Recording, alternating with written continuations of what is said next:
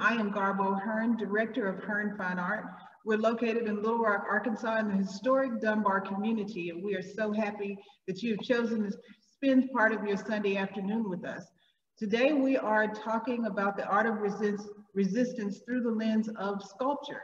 We have four master sculptors with us from, we're in four different time zones. We have Ed Dwight, we have Basil Watson, we have Chukes, and we have Bryan Massey, all of which are near and dear to Hearne Fine Art. We've worked with them over the last 33 years of our existence, and we are excited to have them in our presence.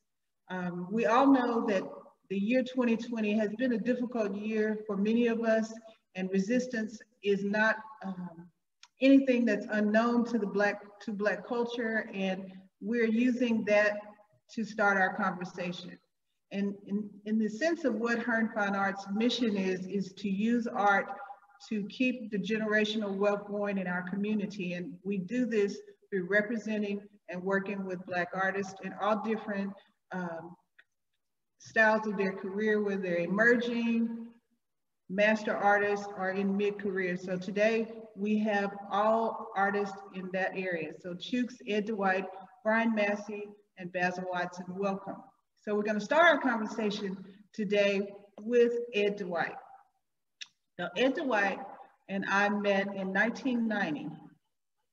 He was working at the National Black Fine Arts Festival, and I was just enamored by his work. So I said, man, I really would like to represent you. I walked up to him, and he has always been very kind and generous and said, sure, I'll come to Arkansas. I've never been there. And then that's how it started. And so welcome, Ed, and thank you so much for the many years that we have worked together. So Say hello, Ed, and take it away. You gotta unmute yourself. Ed, you are muted.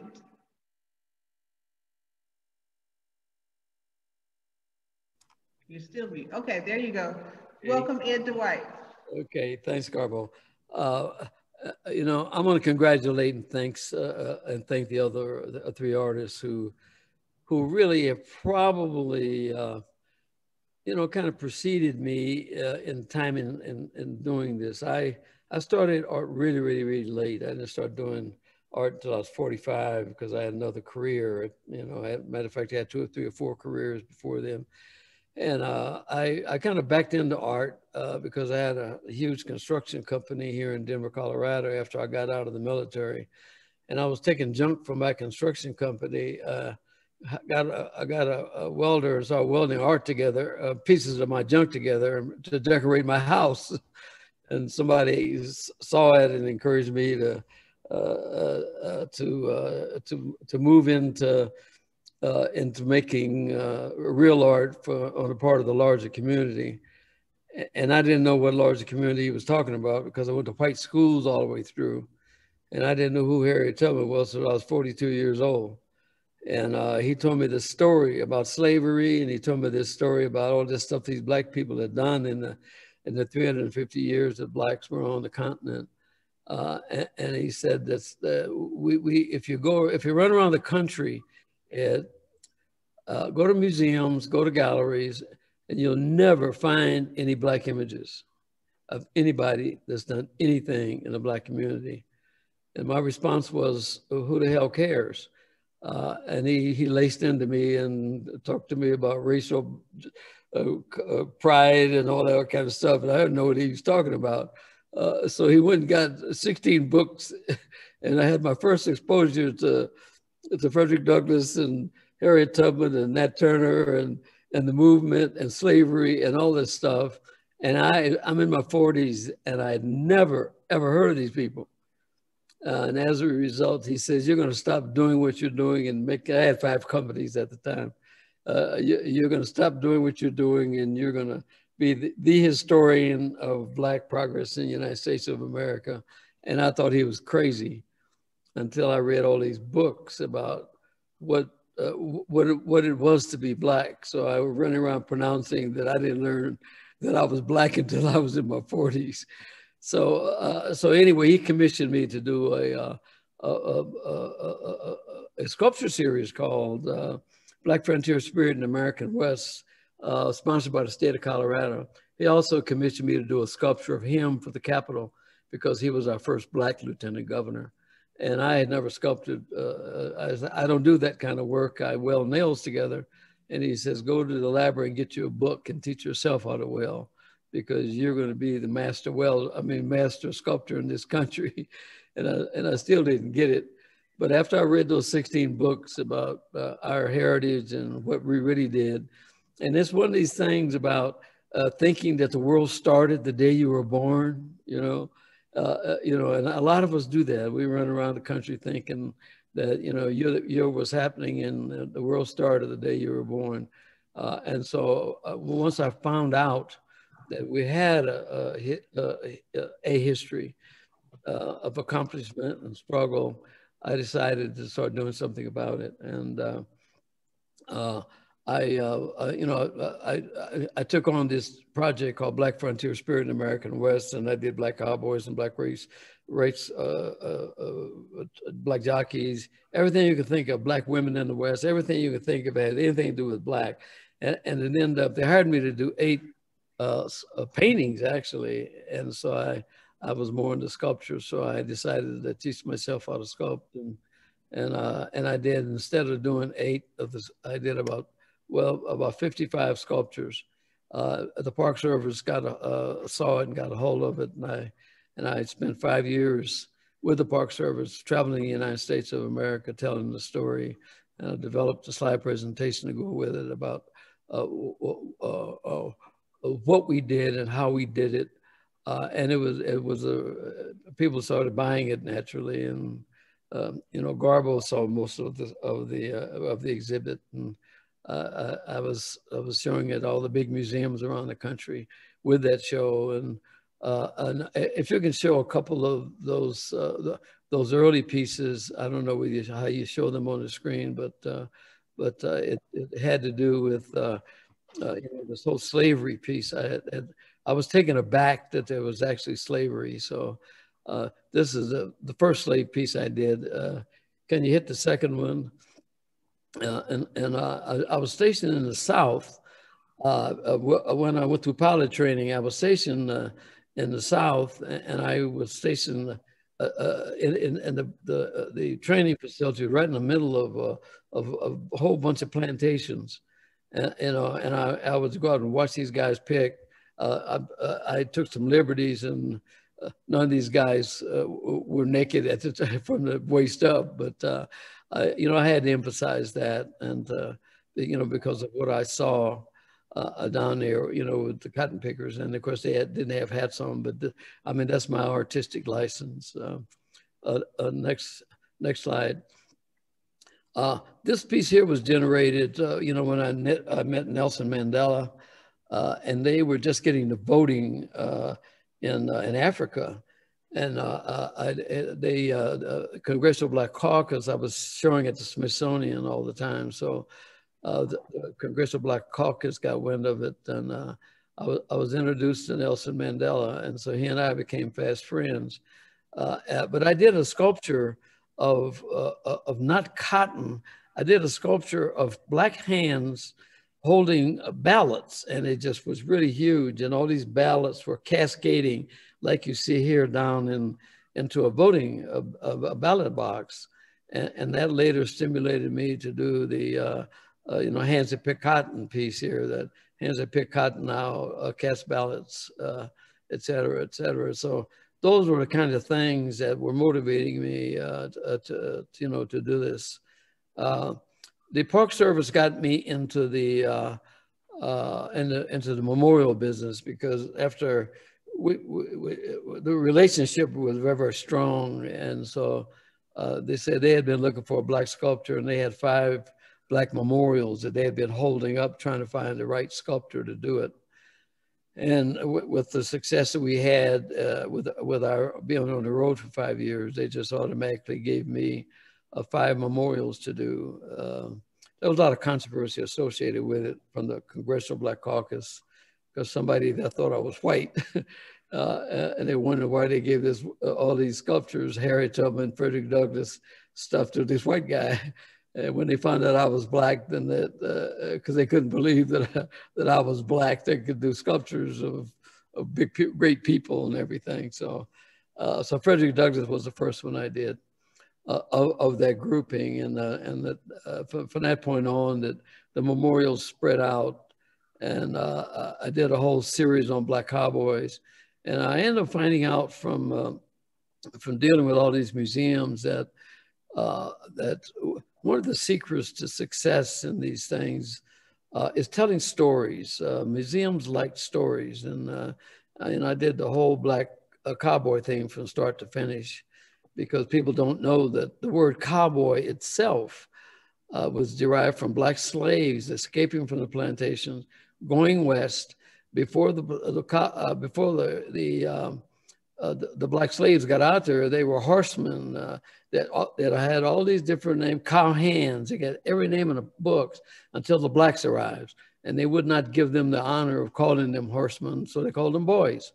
And that's where the word cowboy comes from. And uh, but I ended up learning that in all this research that I had to do because every one of these uh, uh, memorial packages that I did, there was an enormous amount of research and uh, uh, uh, and you know I did a whole study on the first black jockey because the first jockey that won the first Kentucky Derby was black, and the jo- jockey that won the most Kentucky Derbies was black until until the uh, jockeys started making money, and then they threw the black guys out. You go to Kentucky, and the blacks are still training the horses to this day.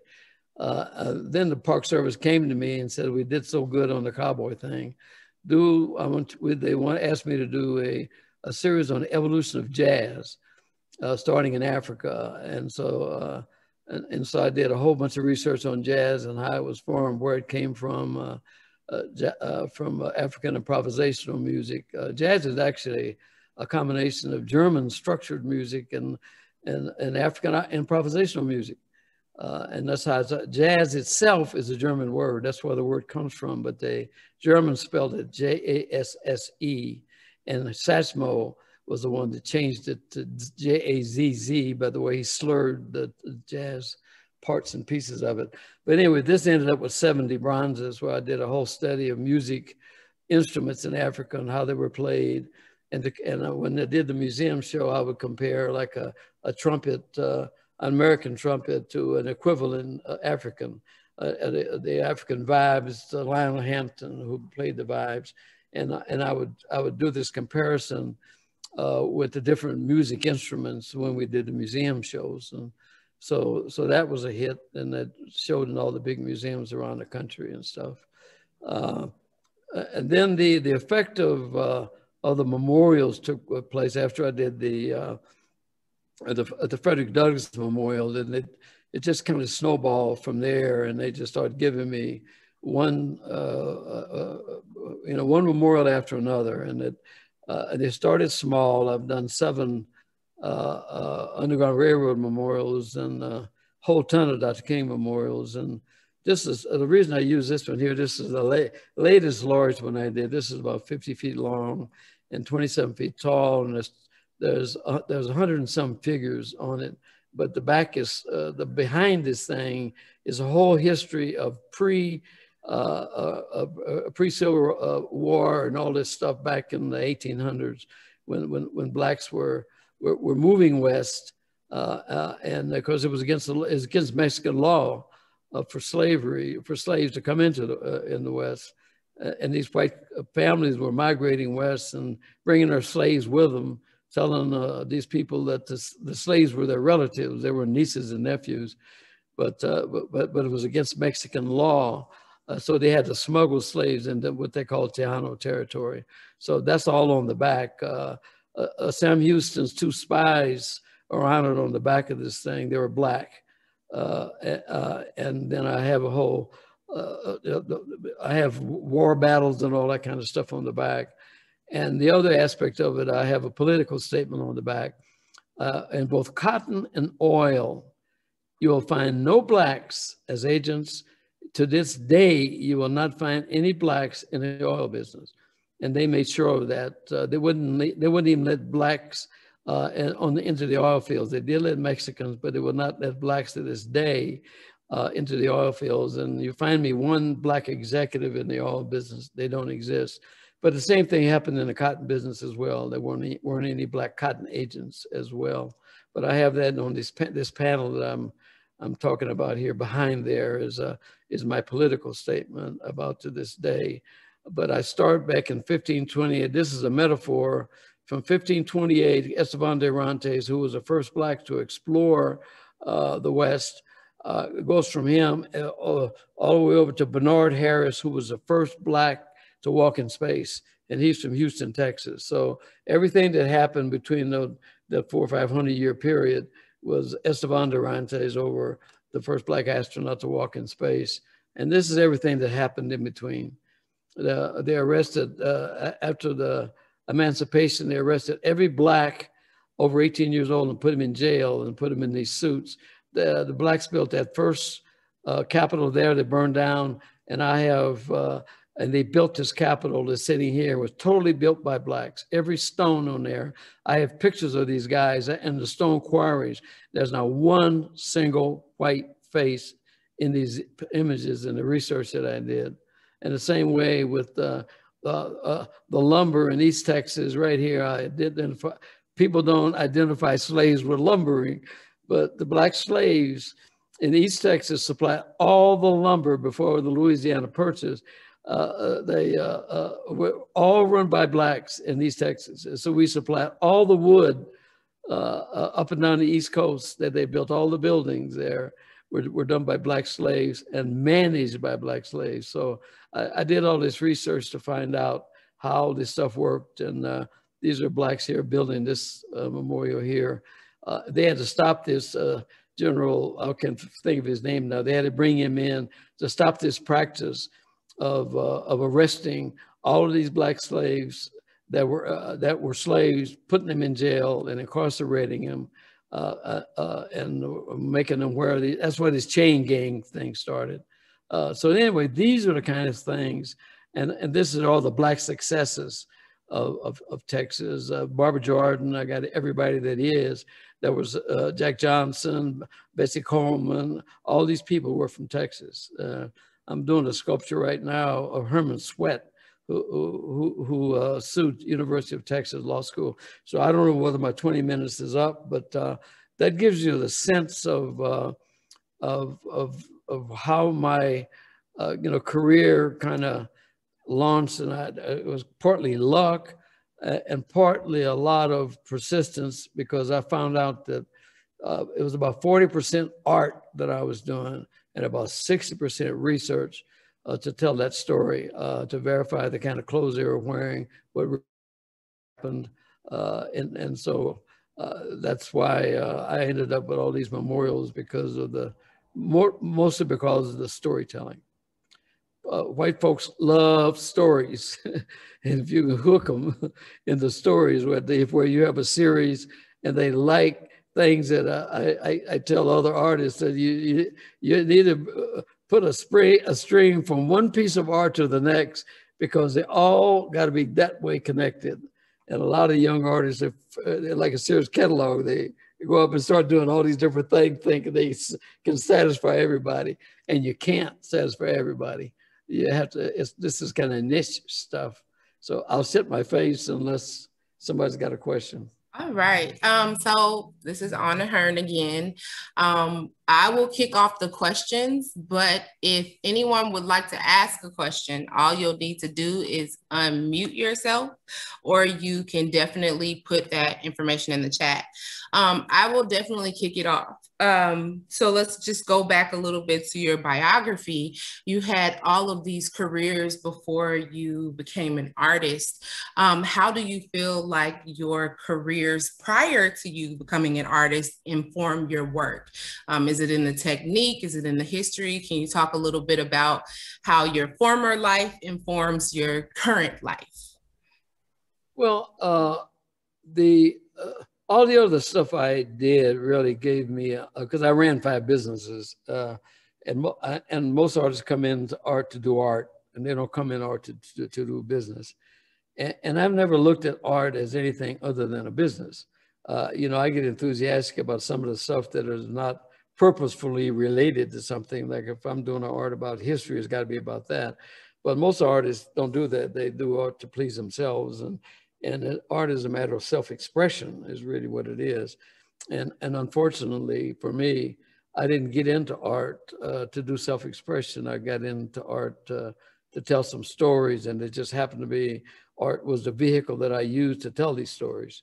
And so I had to become proficient at it, and I had to become very, really, really, really, very good at it uh, to get people's attention.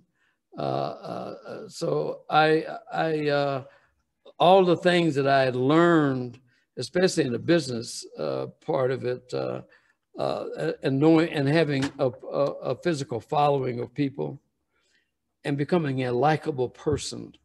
And that sound might sound crazy to some people, but uh, uh, there's a good percentage, I would say up to 75% of the people that buy art, they don't buy it because of the art. They buy it because who did it. And, uh, and, and uh, to, uh, the, the, to explain that, uh, it, it depends on how passionate an artist is about what he's doing but he's got to like people. And there's a lot of, uh, I've met a lot of artists that don't like people very much. Uh, but if you show them you like them and love them and can have an interpersonal relationship with them, I don't mean a, a, personal relationship, but I'm talking about a business personal relationship. Uh, and, and they end up liking you, they'll find reasons to buy your art. And, uh, and that's, that's been my experience throughout this process is that if you ask anybody about what uh, uh, uh about Edward doing, he, that guy's really a nice guy. and so, because they, they, they tell me when I travel around the country that I'm not arrogant enough to be an artist, and, and, I, and I, somebody suggested that I. Uh, go to go get a master's degree in asshole go to asshole school, so I can so I can be arrogant and and I'm far from being arrogant and uh, love everybody and I want everybody to win, and that's the biggest part of all this stuff. Uh, uh, you know, wanting, want, you know, wanting some other people to win, and people recognize that, and as a result of that, they they find other customers for you, uh, and all that kind of stuff. So there's more to it, and I found that out in doing in doing business. Uh, if you become a likable a likable person at the, at the outset uh, that that is a key. Uh, if they like your art, uh, and then and then you're a likable person on top of it, that I swear to God, it works. Uh, and that's uh, that's a long-winded answer to your question. You are a very nice person, um, and I know you touched on this briefly, uh, but can you talk a little bit more about the person, the experiences that introduced you to African American history and culture? Well, uh, uh, George Brown was our first black lieutenant governor, of uh, the state of Colorado, and and I, I, swear to God, I when I was 42 years old, I didn't I didn't know I was black. I mean, it, it, may sound crazy, but I went to white schools all the way through. I had a white education. I grew up in the Catholic Church, and and I didn't know what black people did, and that sounds crazy. I went, I left and went into the military when I was 18 years old. I was an officer in the military, and my whole world was white. I never saw no black people. Uh, so uh, what I did see some black people working on my airplanes uh, every now and then, but I didn't know what they did. I mean, you know, I see, this sounds totally bizarre, but as I moved along in life, I found out I wasn't the only one. Uh, there's tons of people like that, uh, uh, that, that blacks that have been madly successful and they attribute it to what they've done. They haven't attributed it to anything anybody else has ever done. Harriet Tubman or Frederick Douglass or Dr. King, man, they didn't have nothing to do with me, man.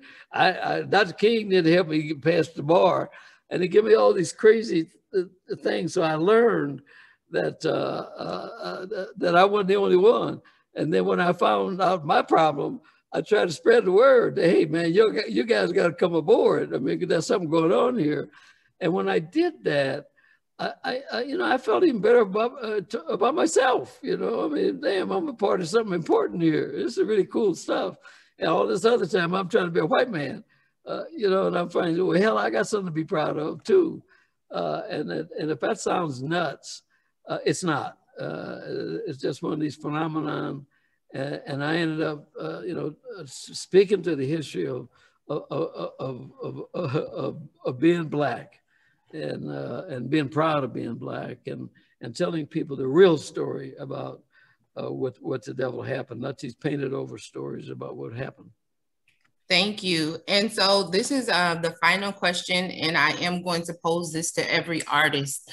Um, the title of this show is The Art of Resistance.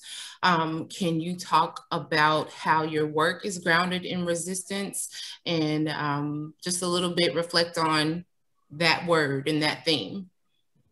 Well, you know, you, you know, the whole idea of, uh, of, of what white superiority is and white dominance is, uh, is that uh, for, for, in slavery, we had to go along with it.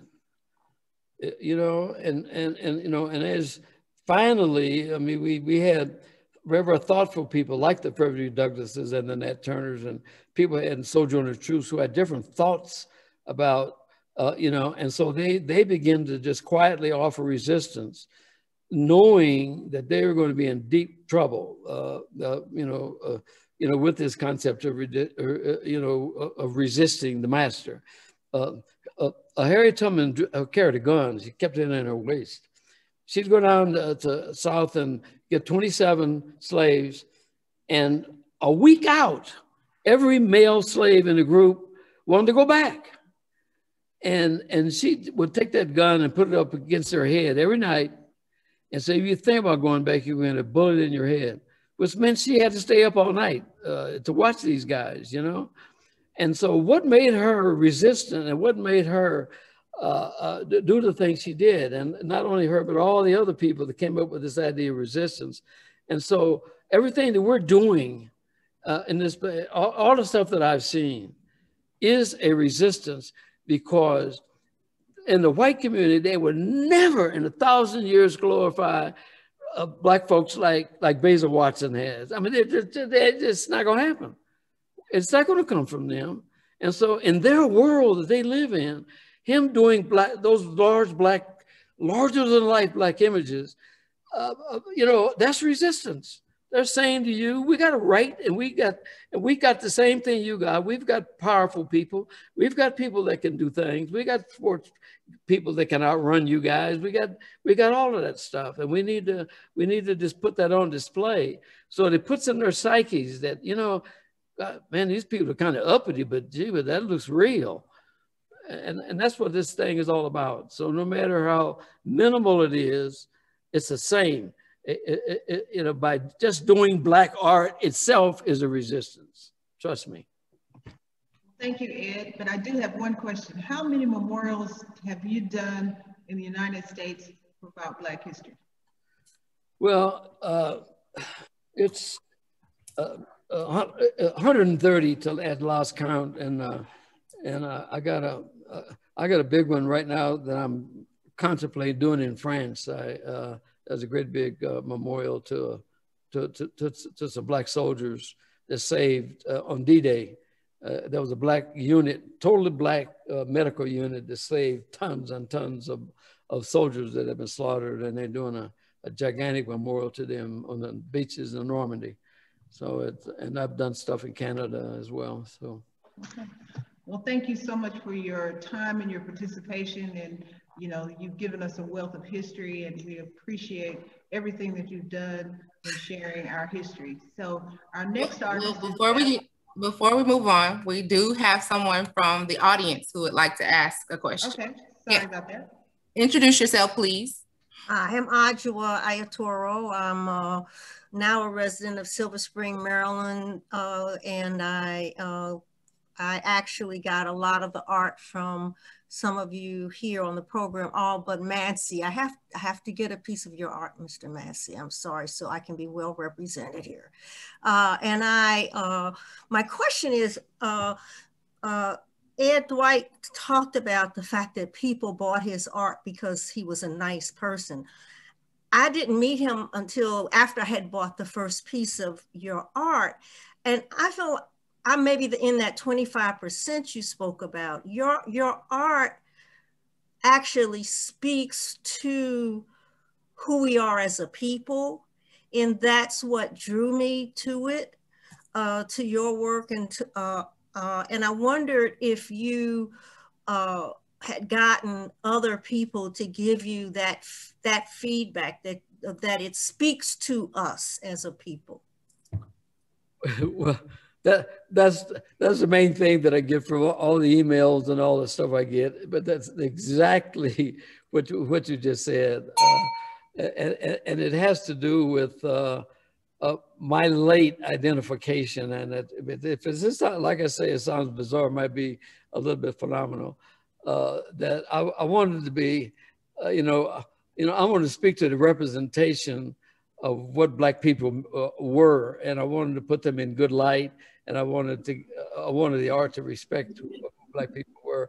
And I, and I have to comment. My first show on the East Coast was on New York Avenue in Silver Springs, Maryland. Okay. Okay. You also were uh, shown in the St. Louis Arch, which is where I first saw your art. I'm from St. Louis. And uh, a guy who I was dating said, "You have to see this man's art." And so it's we went down into the bottom of the arch. But thank you very much.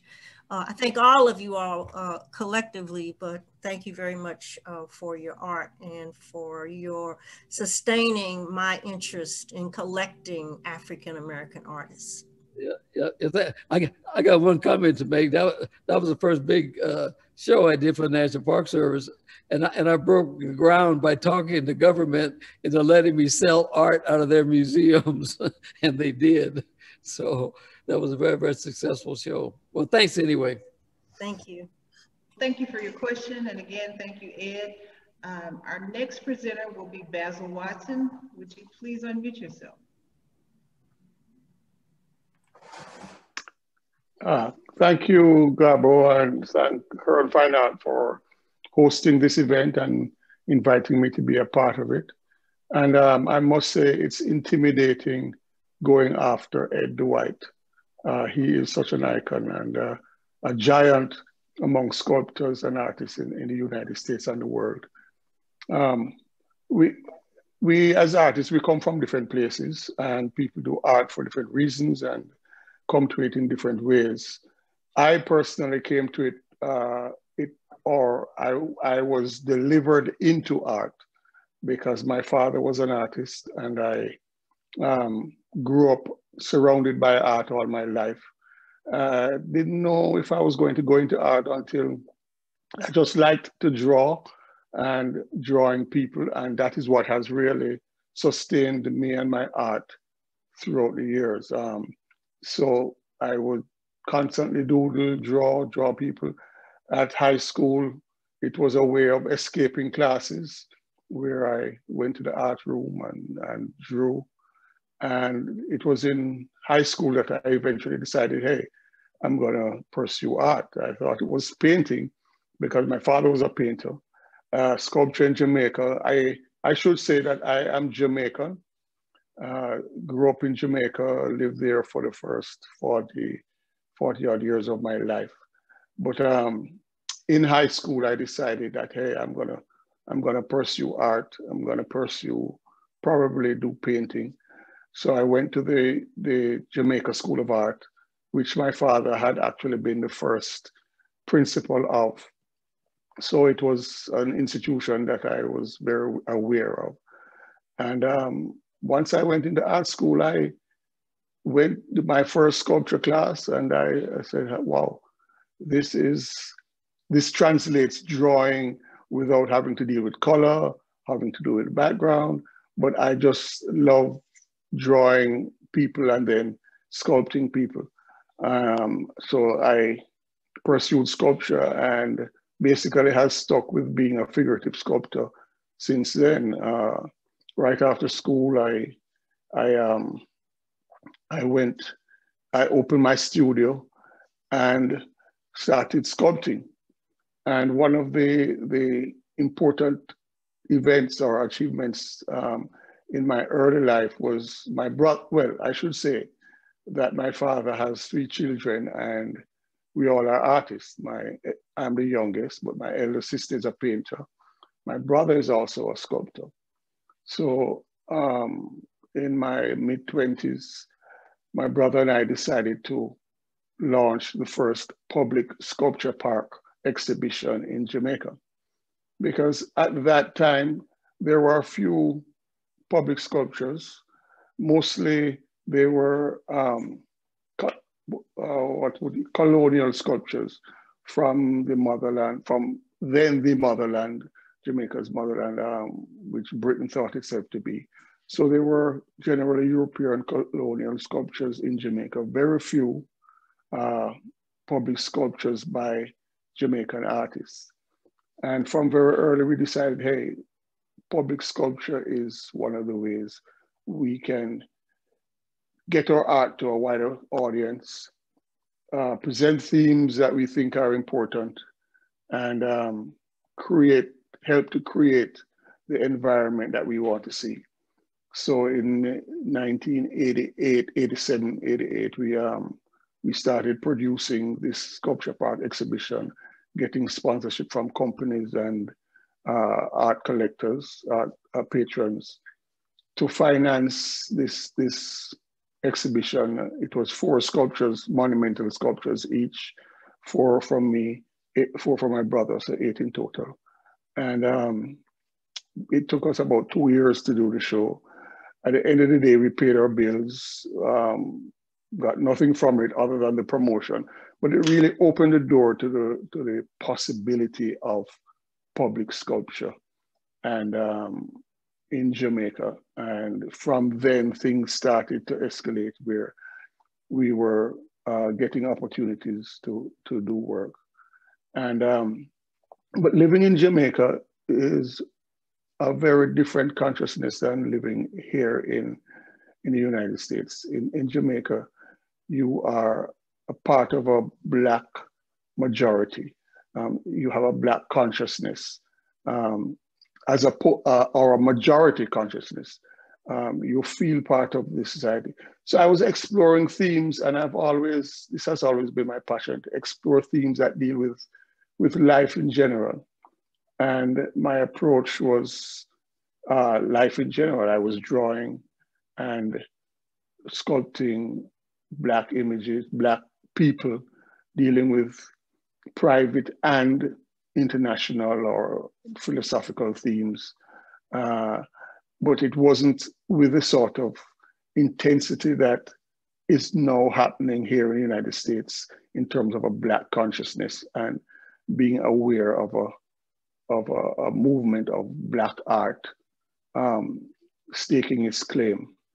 But uh, in Jamaica, I I did maybe over two to three dozen public sculptures uh, for universities, uh, for private companies, um, and for sporting events, for sporting stadia, like the Sabina Park, where we had, I have a cricketer, and the, the National Stadium, where it started with one sculpture in um, about 99, not too long before I left, but it has now moved to probably six sculptures in at the National Stadium. But in 2002, um, at the age of 44, I decided that in order to develop on an international level and to, and to get my work to a wider audience, I needed to come to the United States or I needed to come outside of Jamaica and the United States is where I chose. And um, because in Jamaica, you're in an island, it's, it's somewhat insular. Uh, you don't get the message out. So coming here in, in 2002, um, it has been a slow but steady climb. And um, I still work, do a lot of work in Jamaica. And with my success in both places, um, I have been able to, to work in both places, work in Jamaica and slowly getting work out here in the United States.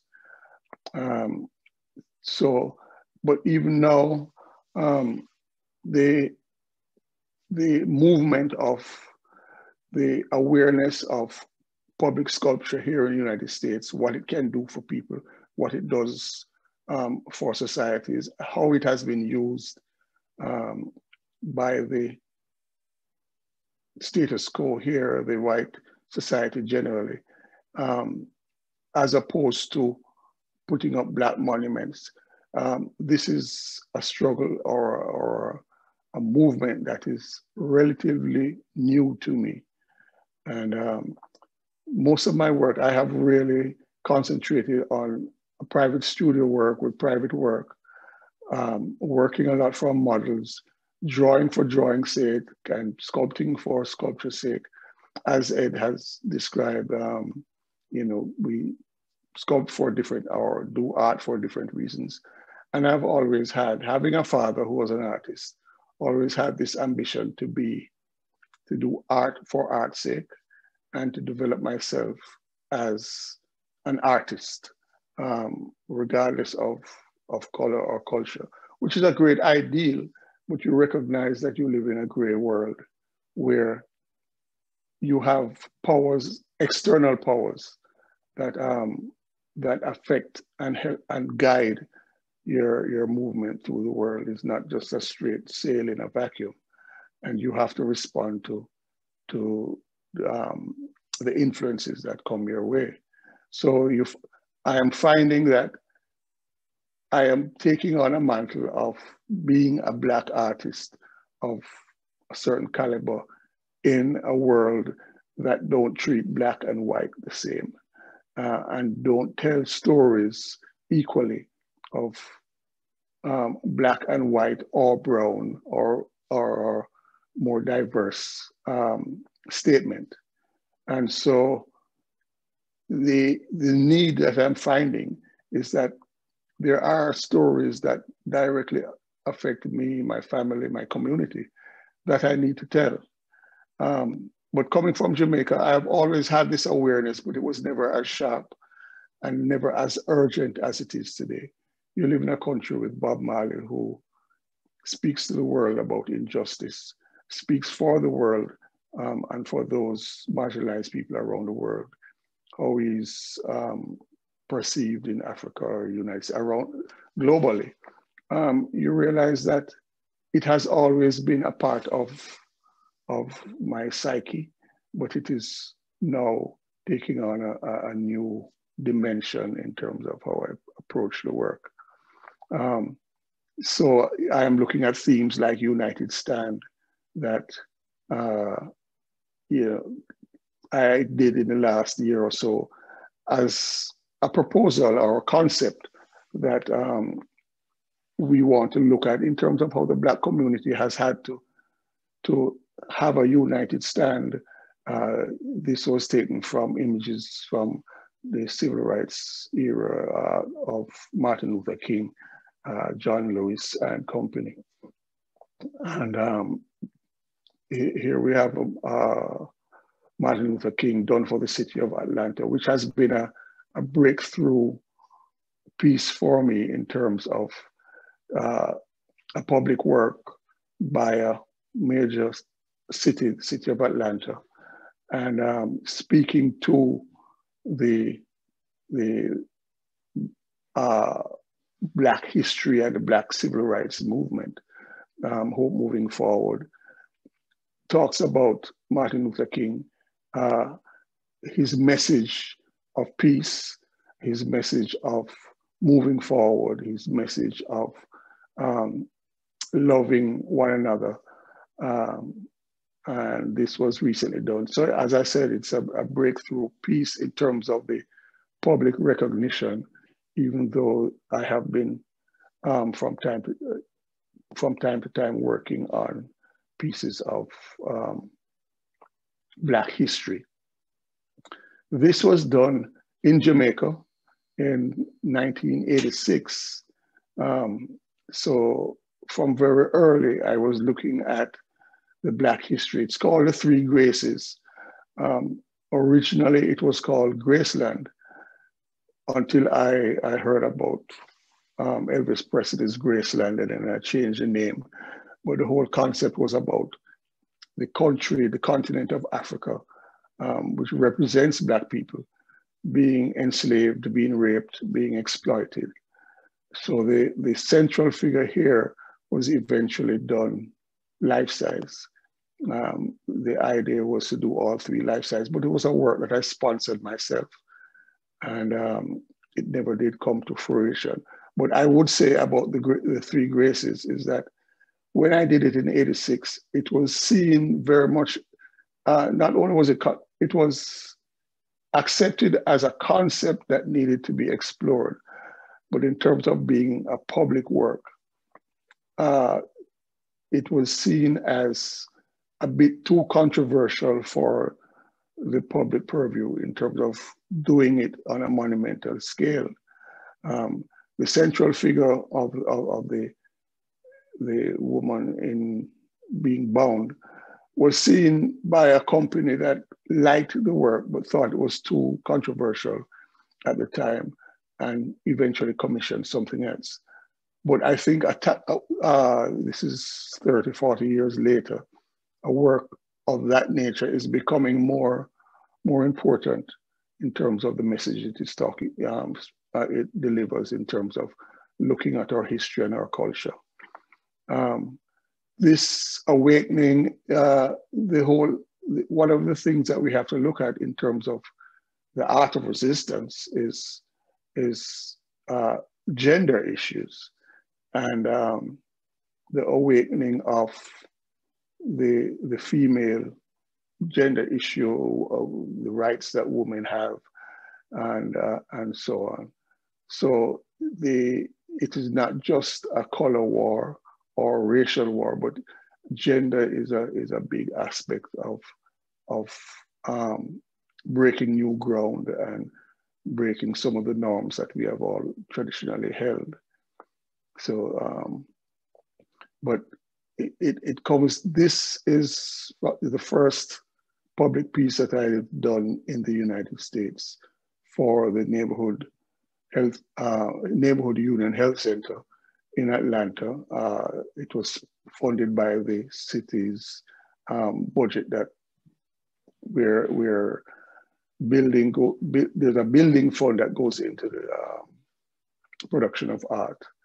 And this health center, they wanted a figurative sculpture that represented their community because in Vine City in Atlanta, it's one of the poorest uh, communities in Atlanta with probably the worst health record. And here we're talk, we're seeing the um, black female embracing the child, nurturing the child, and, and giving support. So this is one of the first um, public pieces that I've done in, in the United States. Um, so the, this is um, Jamaica's first national hero, uh, Nanny of the Maroons. Uh, there is no specific image of Nanny on record. So I was um, given the task of developing a concept of what Nanny would be or what she would express. And um, this was a part of a series of the seven national heroes that, that Jamaica has.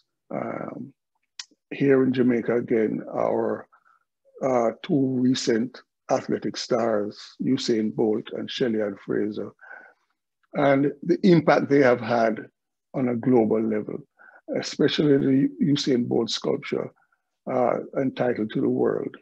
And he really carried it to the world and presented a black um, sport icon who broke records not just on the track but in terms of um, the way Jamaicans and black people uh, entertain and declare our, our greatness.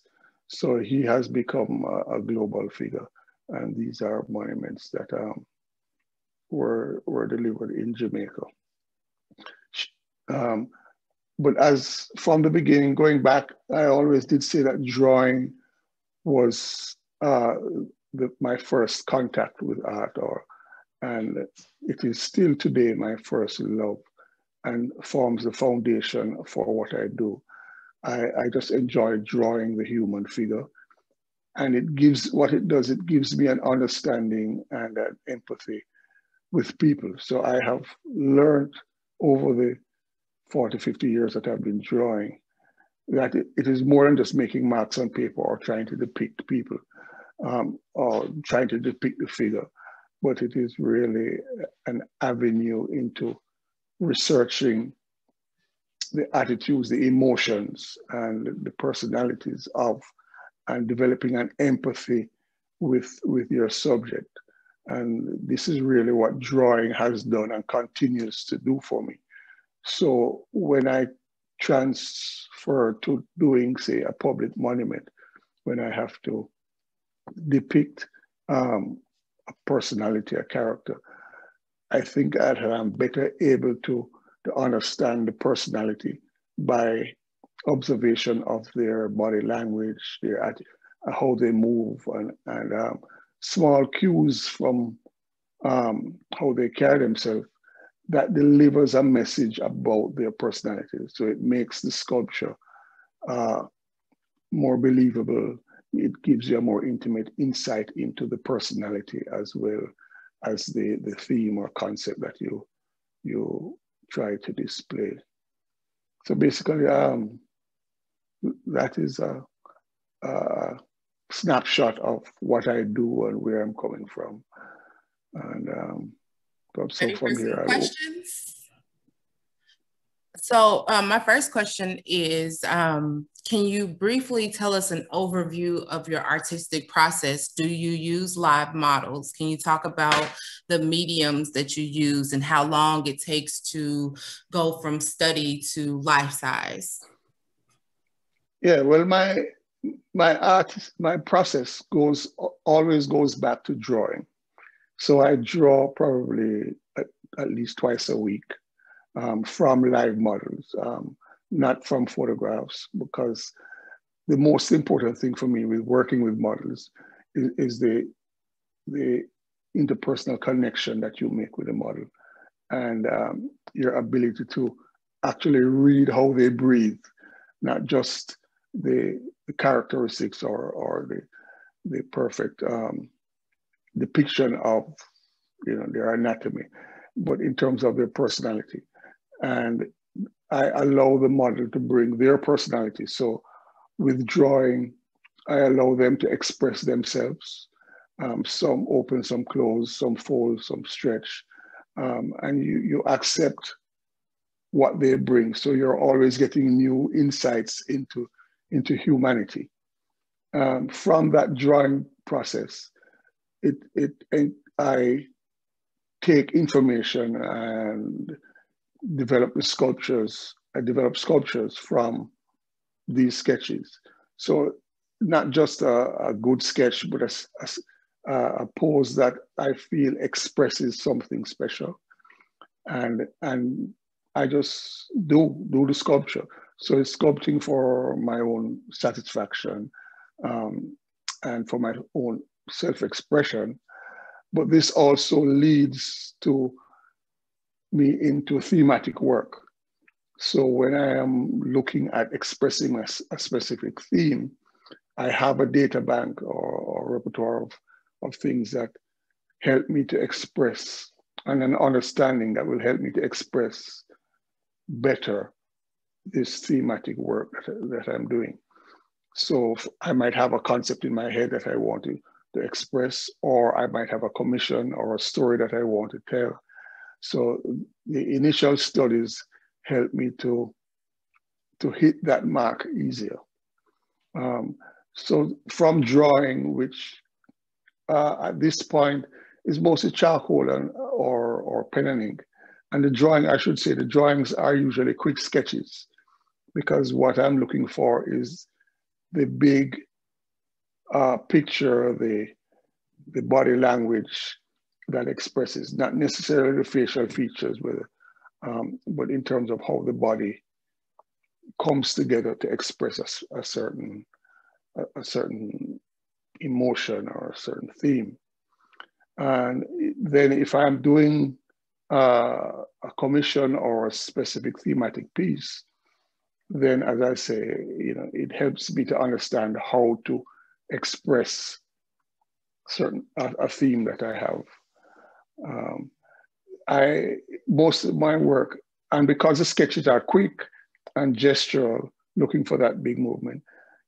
Um, clay becomes my favorite medium because that in itself has a certain speed about it and a, a flexibility. But it has, but I also explore using stone. I've done metal. Um, I've explored abstract, but it always comes back down to expressing the, the human figure and exploring the human figure and the human language and humanity in itself. Thank you. Um, so I would like to touch on the concept of resistance. You uh, talked about this a little bit uh, in your intro, um, but coming from Jamaica and coming to America, um, do you feel like there is a different interpretation of resistance and that theme, you know, being not American, how do you interpret that? Well, I would say, for instance, when I came to the United States um, almost 20 years ago, I had no concept of what dog whistles were. I didn't know um, what the term really referred to in, in a social context. And coming to the United States, your eyes are opened. Uh, in Jamaica, you're living in a, a Black majority country with a certain majority consciousness as opposed to here in the United States, we are constantly confronted with the fact that you are a minority and the, the conflict and tensions that, it, that you meet every day um, between the races and, and cultures. So, uh, uh, and um, so I find that here puts, you feel the tides of, of um, that conflict much stronger. Uh, Jamaica has always been a country that has um, looked on world oppression and tried to deal with a lot of the issues um, on a global level. But within Jamaica itself, there was a certain comfort zone where you didn't feel that you needed to express your blackness. It was taken for granted. There was um, little or no um, complex about being black because your, your black teachers, your, your ministers of religion, your government officials are black. So you find that generally you are in a black majority consciousness and the, the complex is, is not there. So um, the Jamaican motto is out of many one, and you have a lot more harmony amongst the differences in Jamaica. And um, I guess probably the harmony had to be created while there were vestiges of colonialism and um, a lot of the wealth of the country was still within white hands or these white hands were getting browner with each generation. Uh, you still didn't feel, you, you felt that that minority had to comply with the majority black. Um, we were actually numerically um, in the majority. Here in the United States, you feel that the minority blacks have to learn to comply with the with the um, white majority. You feel that you have to um, find a way to live with the police. You have to find a way to to convince the banker to give you a loan because you are a black that you know is not considered to be um, delinquent in Jamaica. Banks were lending to blacks. Black opportunities were opening for blacks, um, and I do recognize that it was a change from the colonial or colonial history.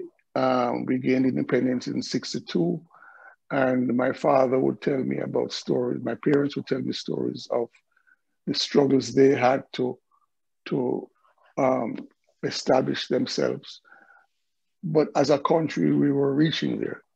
Um, here, the, the, struggle is a lot more, a lot different. Um, a lot of the things that I didn't even know that I was facing, um, you know, in terms of loans, in terms of housing, in terms of mortgages, in terms of you know, how you're perceived when you walk into a store and um, attendants don't, you know, attend to other people. When I came here, I didn't realize that I was facing a lot of that. Um, so now I think within the last four years, four to five years, a lot of these things are coming more to the fore. And there's a lot more education about really what we are facing. Um, I know that there are Blacks who knew it, but the general public tended to bypass politics. And here in the United States, we still fight to get the Black vote out um, because people are, uh, I wasn't aware of what was happening. So it has really affected um, a lot of the concepts that I need, I feel that I need to express.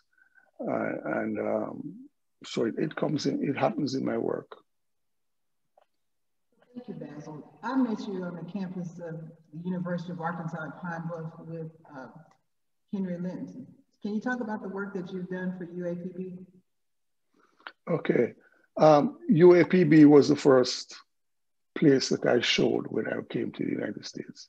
I didn't, I had no idea what UAPB represented and um, the opportunities I was getting. The only reason is because there was a Jamaican who I knew um, working at the university who invited me to, to exhibit there. So I, I took the first opportunity I could get.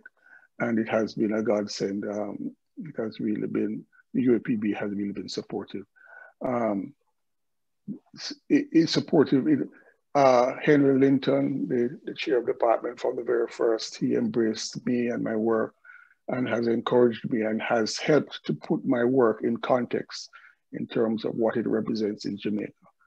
Um, and I have, so I've had two exhibitions and workshops there. And very importantly, it was Henry Linton who in, introduced me to, to you, Garbo and um, you were the first commercial gallery that uh, that hosted an exhibition of my work. Because when I came to Atlanta, I submitted to three three of what I considered to be the prominent or heard were the prominent galleries, and got rejection letters from from all of them. Um, so UAPB and Arkansas Hearne Fine Art has really been a cornerstone of my of, of my um, artistic life here in, in the United States. Thank you. It's been a pleasure listening to your story and we are going to move on to our next artist and we will have some more questions for you at the end of our presentation. Our next presenter is Bryan Massey Sr. And Bryan is the chair and professor of art and sculpture at the Department of Art and Design at the University of Central Arkansas. And Bryan and I have worked together for probably the last 20 years, and we, we, we see behind him, we see his work on the wall, and it is so exciting to have you here with us today. So Bryan, take it away. Uh, thanks, Garbo. Also, I would like to just uh, kind of an honor to be amongst these these other artists uh, who are, are really greatly respect their work and, and listen to their stories. Um, I, I am a first generation college student uh, out of my family. Um, my other four sisters uh, had opportunity to go to school and chose not to go to school. And I went to school mainly because my youngest sister, Beverly, um, when she was eight years old, she uh, we always talked about education, and she passed away. And so that was sort of like a motivator for me to to continue my education. And um, I had a grandmother who always said, you know, no, no son, go to school, and make something of yourself. And so when it came time for me to, to choose what I wanted to do, um, I gave it a lot of thought because I, I always knew at some point in my life I was going to be involved in art. I didn't know how or what, what material, uh, what medium I was going to go into, but I knew deep inside myself I was going to be involved in art regardless of what I did throughout my, my life. And so when I decided to, to, to go to school, I wanted to be an illustrator. I wanted to be an illustrator and work for, work for Hallmark. And um, I was on campus at the uh, East Carolina University one summer, uh, and I heard this commotion going on behind this, this big wall. So I peeked around the corner, and I saw this little man, little white man, and some students struggling with this huge block of stone. It was sort of teetering on the back of this old flatbed truck. And so I said, you guys need some help? And they said, yeah. So I, I took my shoulder underneath the stone and I nudged it back onto the truck, keep it from falling off. And the professor at the time was so impressed at how strong it was. He said, you know, we need strong guys in our sculpture area. He said, why don't you take my survey classes in the fall? He knew, he knew I was a student there. And I knew I had some credit, so I said, okay. And so that fall and fall, I took the uh, this uh, sculpture one survey class and it was stone carving and I was hooked. I, I, changed my, my major from commercial art at that time, which is now graphic design, to becoming a full-fledged stone carver. And, and in my research, I didn't see any African-American stone carvers, didn't know of any African-American stone carvers. And so I wanted to, to get into something that was totally different from everybody else. Um, I did start out figuratively, but I, I quickly went to abstraction because I felt like I had a lot more challenge when it comes to doing things abstractly. Um, because I had some resistance from my family. Being a first generation college student, they wanted me to go to school and, and be a teacher. Um, and my father was in law enforcement. He said, you should think about, about criminal justice. And I didn't want to do either of those, those things for my family. So I was sort of um, looked upon as, as, as the crazy one. Bryan's going to school to be an artist, so to speak. So um, um, I, I, persevered and I wanted it so bad. I was willing to do anything to be successful at, at what I wanted to do uh, to the point where I, I, was I was homeless. I was sleeping in a 1977 Chevrolet with all my belongings uh, for a while to, to, really make it. I wanted to make it as an artist so bad. Um, my journey sort of sort of changed changed um, paths when I, I, I got married uh, to my wife, Delphine. And I was just sitting at home, not doing anything, and uh, had graduated.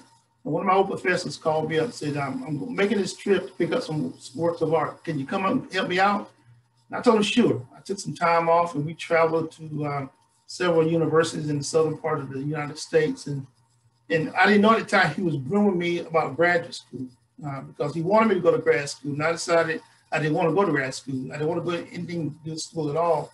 But uh, he saw something in me that I didn't see in myself. And uh, uh, on one of those journeys that I, I, went to several schools, I ended up visiting um, the uh, Louisiana State University. And, and, that's why I ended up in grad school. And uh, couldn't find out that I was the first African-American graduate student they ever had to, to go into stone carving. And, and did not know until later on that I was going to be a first of many things in my career. Um, going forward, I, I, graduated from LSU. I, interviewed at several universities. Now, unlike what they have today, where they got TikTok and, and Facebook and uh, uh, social media, I had to, I did things the old-fashioned way. I, I, took every little dime I had. I had 1,500 brochures printed up with my work, some pictures, my resume, and I just typed out envelopes and letters and just sent them all over to whoever would listen, any gallery, any university, and nothing came back.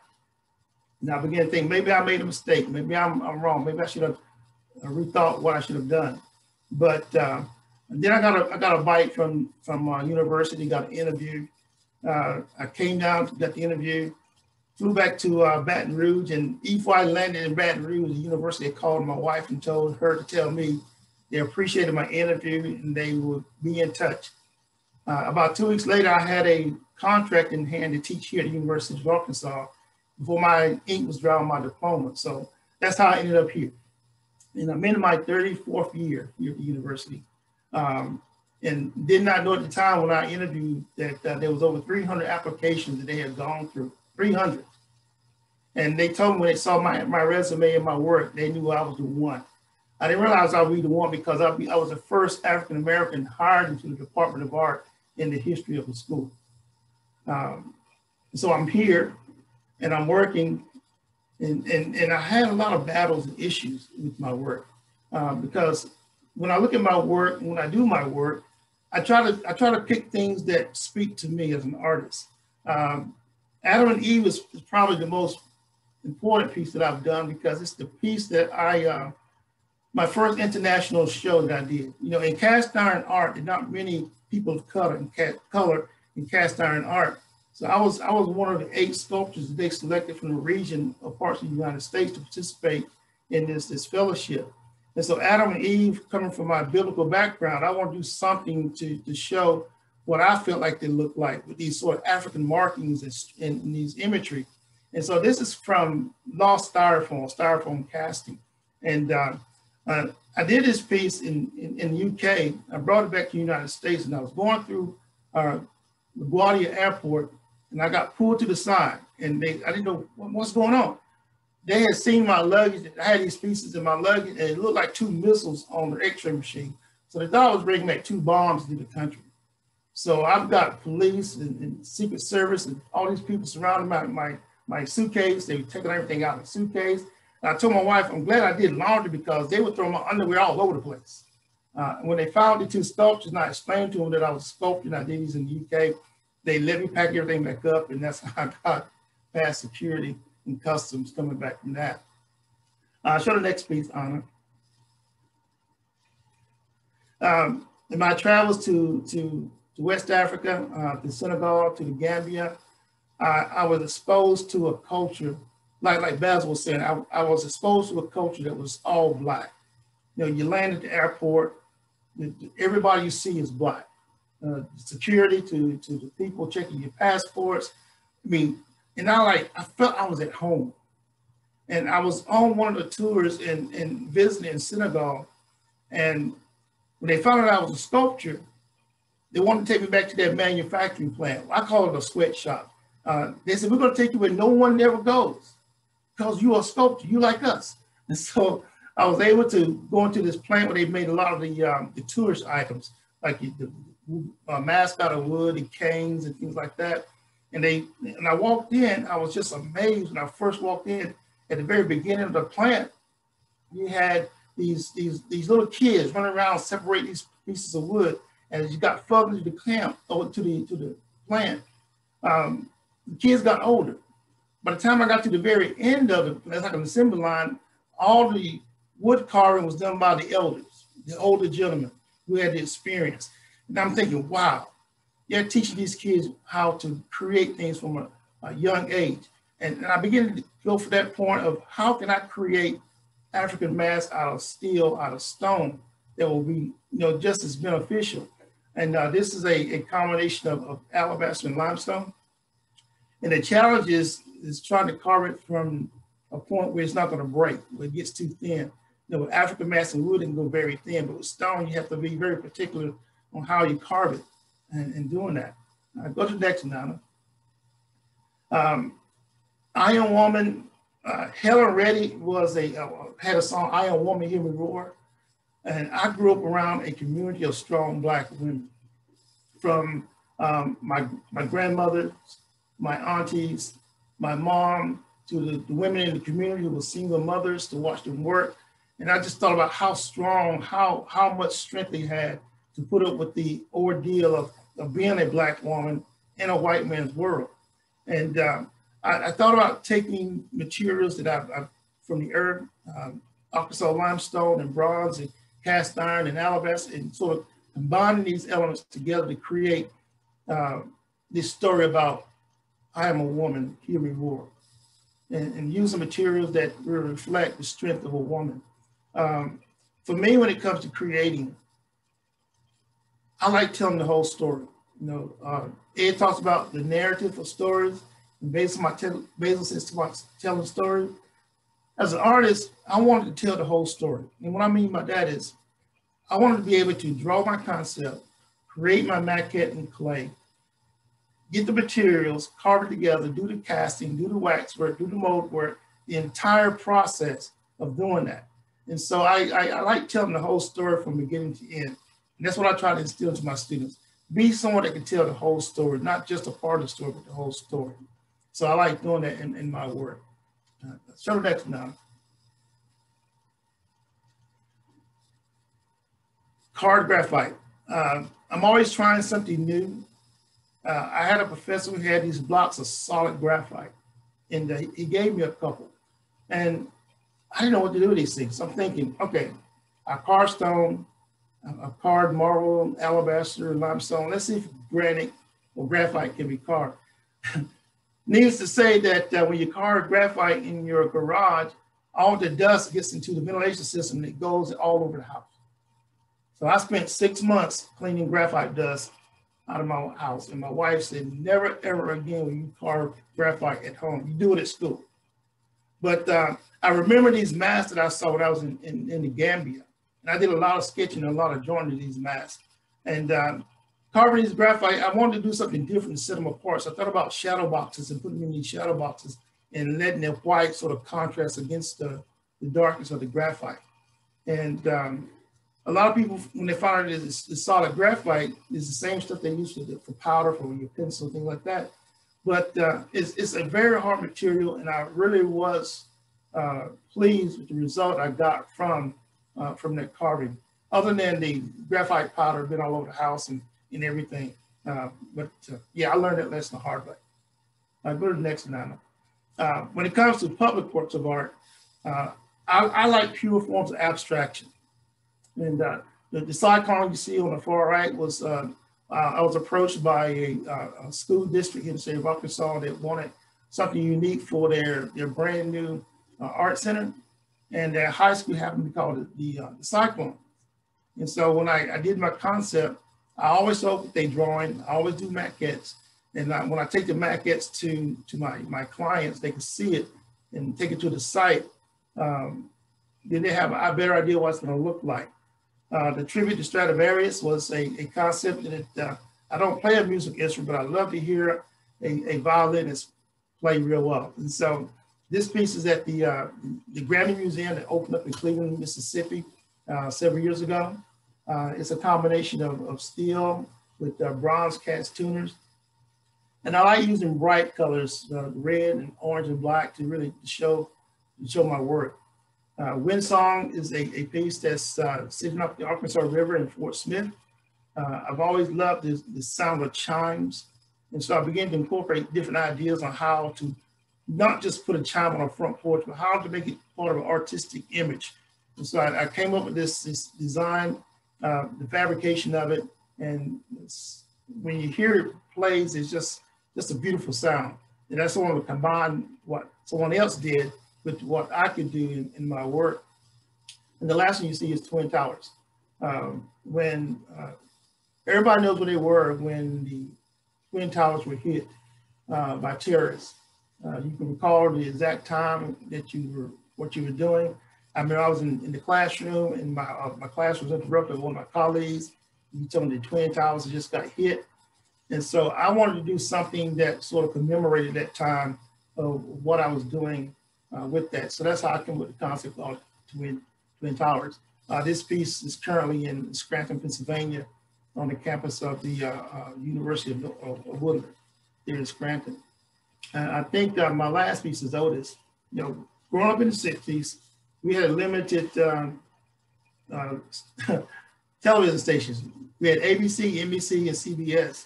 And uh, at 12 o'clock, the, the station would go off the air, not like it is today, 24 7. But one of my favorite shows to watch was the Andy Griffith Show. Um, and now I was always curious about that show because uh, they had very few black people in the show, but one of my favorite favorite character was, was Otis, the town drunk, uh, played by um, Hal Smith. And so when I was asked to do a, a angler type bear climbing a wall, I'm thinking, what better name than Otis? Because a bear has to be drunk to climb the side of a wall, then look back over his shoulder thinking, how did the heck did I get up here? And so this is how Otis came to be. And uh, when I was asked to, to do this piece by the committee, um, they said, we want something that's different. Uh, we want something that's angular, that has uh, angles to it. And, and I said, okay. So I, I, actually did a entire maquette of the front of the building that was under construction and uh, did the bear, on my maquette. And like I said, I've always do maquettes and models because as, as other artists can tell you, uh, it saves you a lot of time and, and energy when you're trying to figure out composition, uh, scale, placement, how things are going to look. Um, then this piece is called, called Seal. Um, I did this piece for a corporation in Fort Smith, and, and they're a trucking company. And they, they deliver by sea, by air, by land. And that's how it came with the name Seal. Um, this piece was uh, is fabricated and it's over, over over 15 feet tall, with a 600 pound limestone sphere. That's only thing that's holding that sphere is just the weight. There's nothing else holding that into those those prongs. But um, I don't know if Ed or, or Chukes or Basil have experienced this, but when I went to this site to look at it, uh, as I was approaching, I went up there with the, uh, a friend of mine, he was, he was, a white guy, and we drive up. And so soon we drive up, uh, we are greeted by two gentlemen. And the gentleman begins to speak directly to the white guy about this sculpture. And uh, I, looked at the other guy and I told him, I said, he's talking to the wrong guy. I said it loud enough for him to hear me. So he looked back at me, but he kept talking to my friend. Because I, and I said, he's still talking to the wrong guy.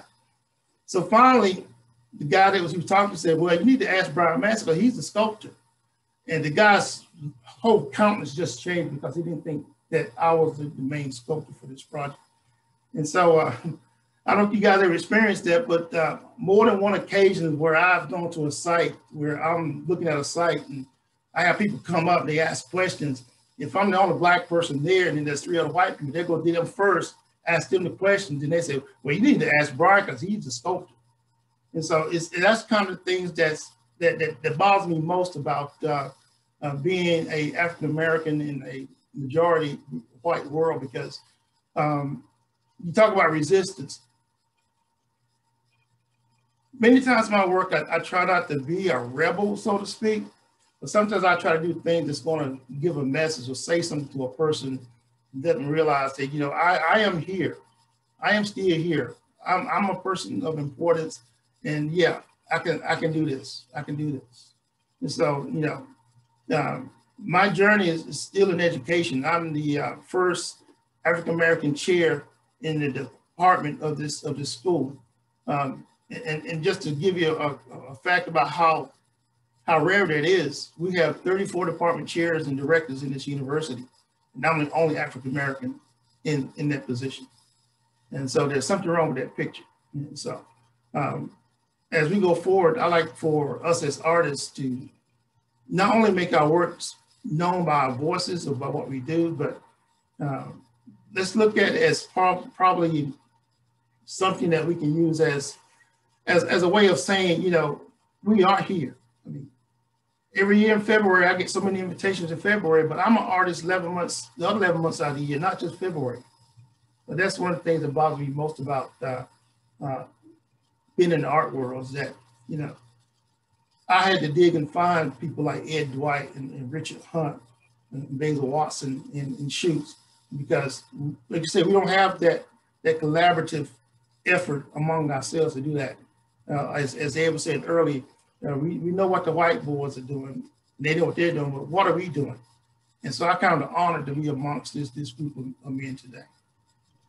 Thank you so much. Um, I would like to touch on um, your role as an educator.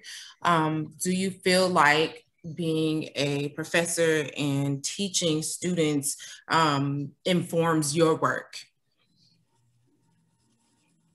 It does. Um, whenever I'm, uh, as, from an education point of view, I um, I try to instill the students to, to look within themselves and, and to tell the story that they have within themselves. Don't just see me as a, a black artist or a black man, see me as an artist, as an educator. Um, I think it's important when I, I teach students about art is to get a solid foundation, you know, learn the principles, learn the elements of design. Then once you get that foundation, you can pick and choose on what you want to do. And if you have a passion for it, you're hungry enough for it, you'll keep working. I get asked so many times, what can I do to be successful? Keep making art, good art, bad art.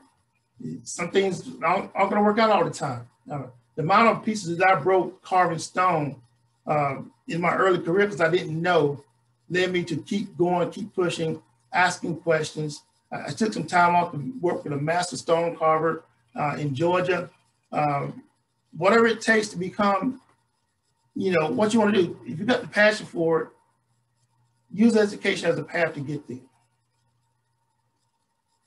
Uh, your biography says you uh, initially were, were a figurative artist Can you talk about uh, your transition and the reason why you uh, mainly do abstract work now and how abstract work figures into the concept of resistance? Well, I, yeah, I started out figuring I wanted to do portraits and busts of people, and I got to a point where, you know, I had a professor tell me, he's a Massey, if you want to be good at doing portraits, do 99, break the first 98, do the 101, and then you'll be good at what you're doing. And I'm thinking, I can't do 99 busts in a semester. But what he was telling me was, keep doing it over and over and over and over again. So I got to a point where I was pretty good at capturing people's imagery. And that's the biggest thing when it comes to doing people, capturing the imagery. And then it got to a point where I didn't see that was, as challenging enough for me as an artist. So I, I crossed the line, so to speak, and went to abstraction because I found that doing things abstractly is a lot more challenging for me to, to figure things out, to try to do something that people have not seen before or are not, are not familiar with in doing that. Um, as far as taking the abstraction and, and, and being resistant with it, uh, I did a piece where a couple of years back called um, uh, I Am Still Here.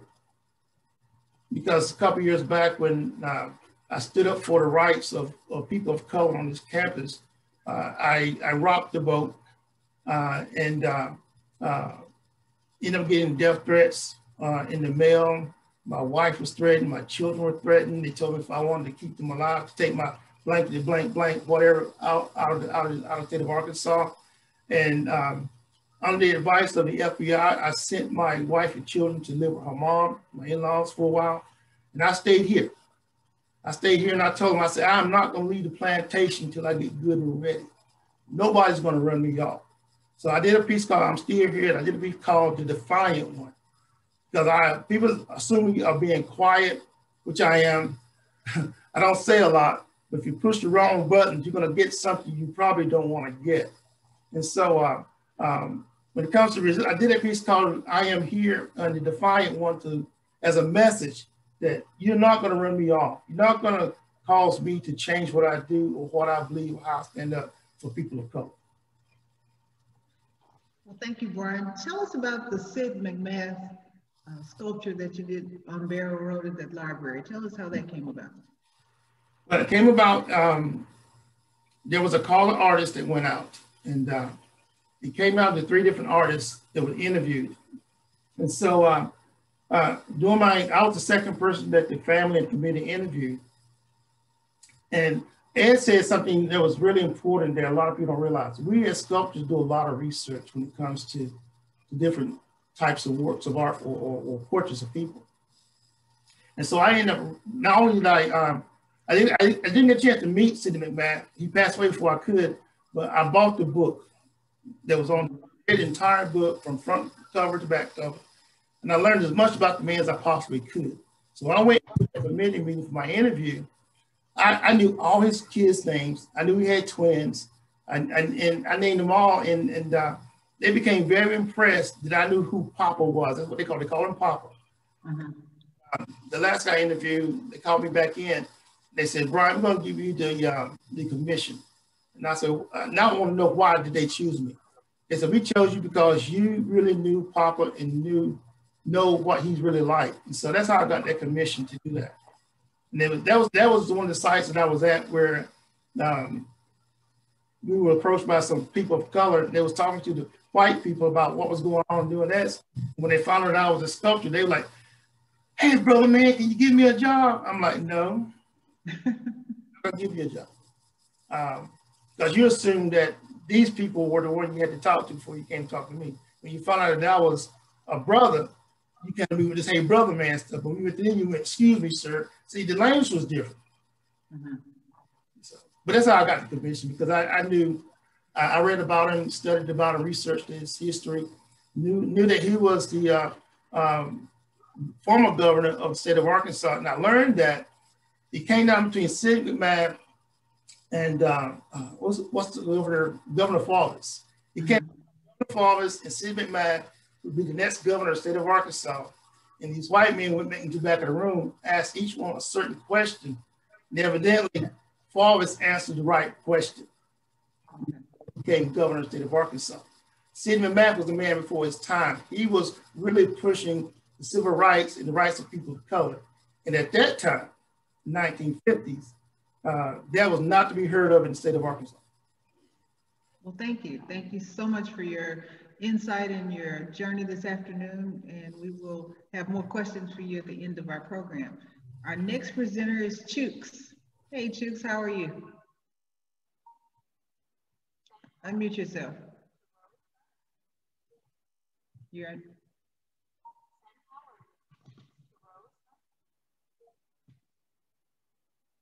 You're still muted.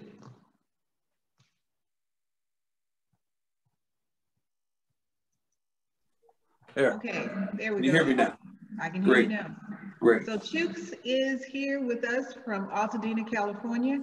And Chukes, we met in early 2000s when Chukes came to my gallery space and he shared his work with me and I immediately knew that we would work together and we've worked together ever since. We've done many solo shows and everything that Chukes does, he shares with me and I'm so proud to have you here with us today. So thank you and tell us your story.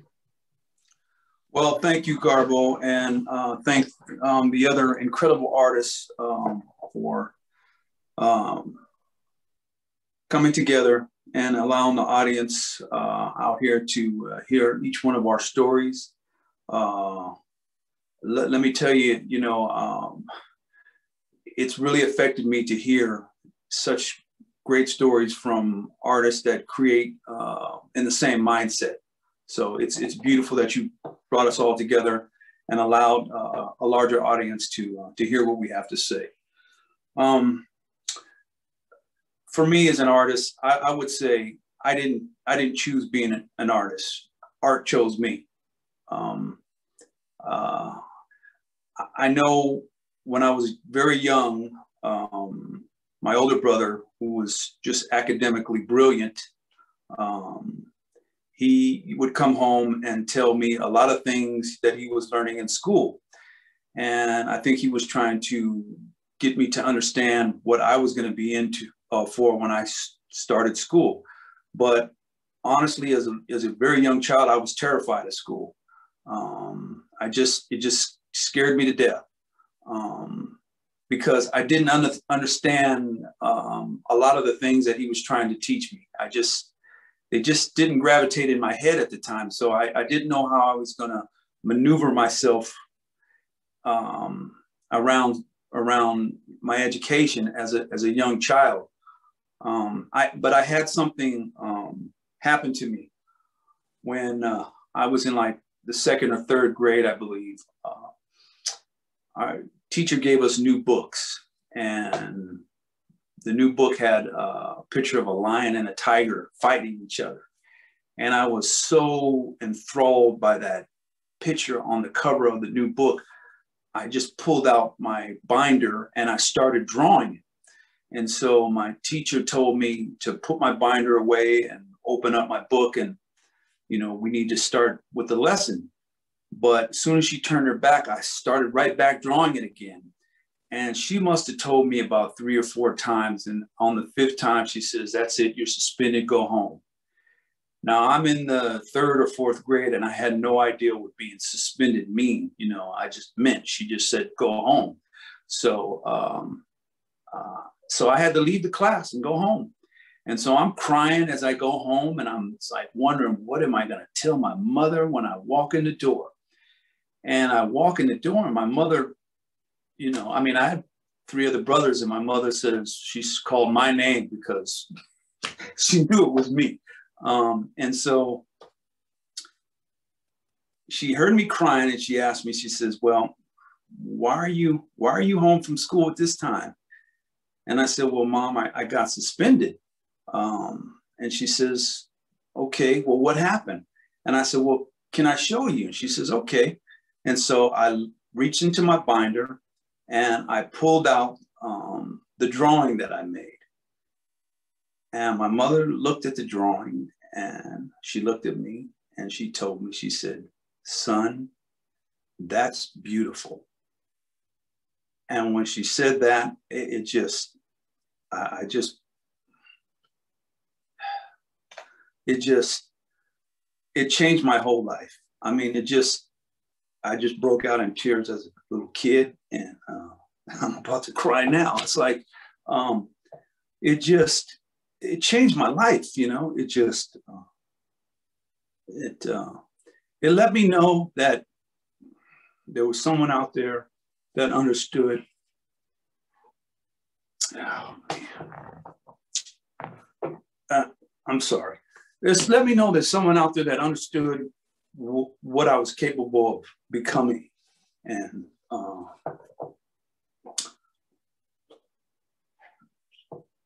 that's my mom. So, um, man, I'm sorry. I'm really sorry. It's okay, Chukes. I didn't Take think this time. was going to happen. I swear I didn't. I just didn't. Um, Take your time. But, Go ahead. Yeah, I'm sorry. I'm really sorry. I just, oh, man.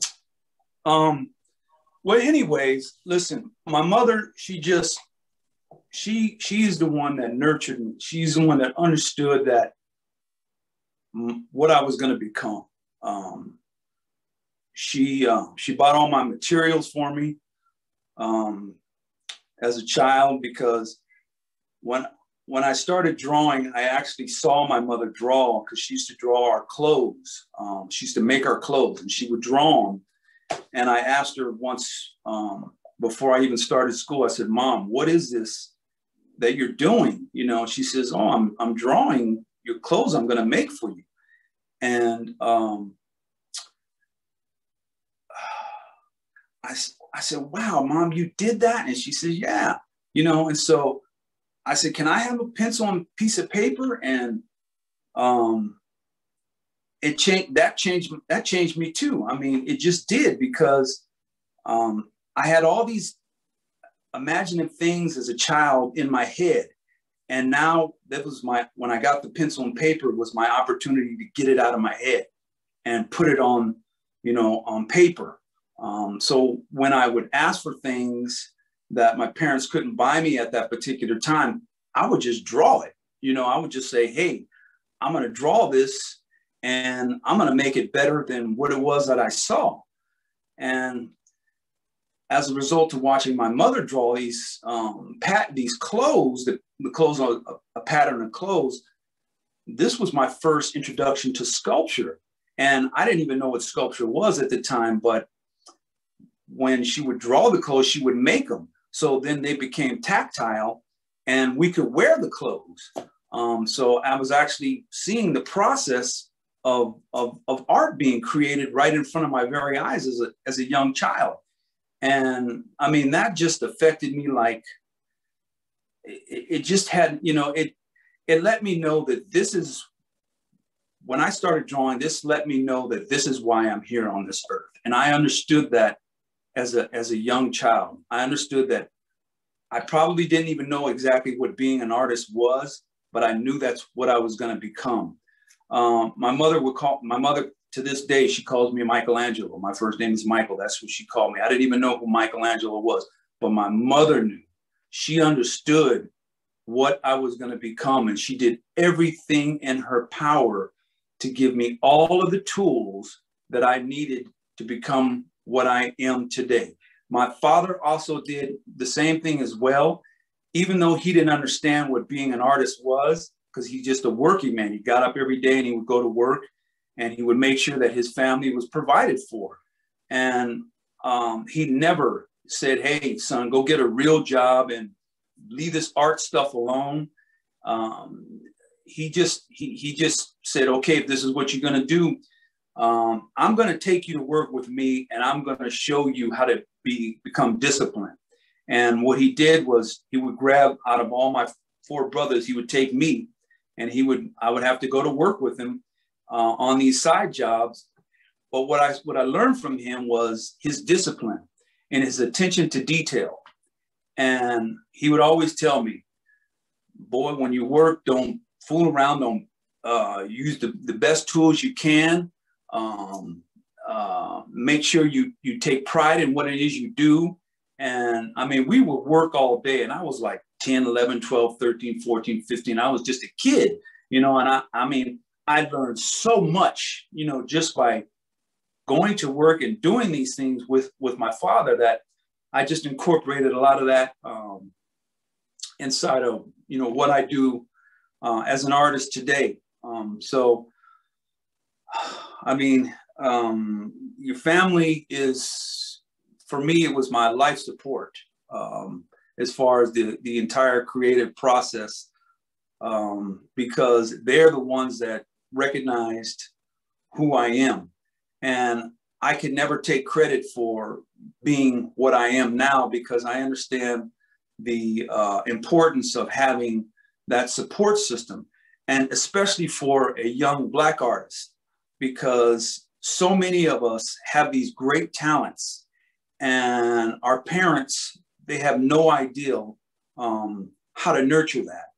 So, because of the way society wants you to think and they want you to go out and not use the creative side of your mind, but use the mechanical side of your mind or the intellectual side of your mind or whatever to get a supposed, you know, uh, job that you can make a living off of, they veer away from the creative aspect of life. And for me, uh, that didn't happen. Um, that that that never happened. I mean, um, throughout my entire artistic career, because um, I just uh, I was able to uh, have an understanding about this process and how I wanted to affect other people. I grew up with a lot of um, young um, um, Black uh, friends that were extremely creative, but uh, they didn't uh, have the support system that I had. So um, I was basically left upon my own to figure this out myself. But anyways, I see Auna is uh, showing some images here uh, on the, uh, the screen, and I'll talk about these images.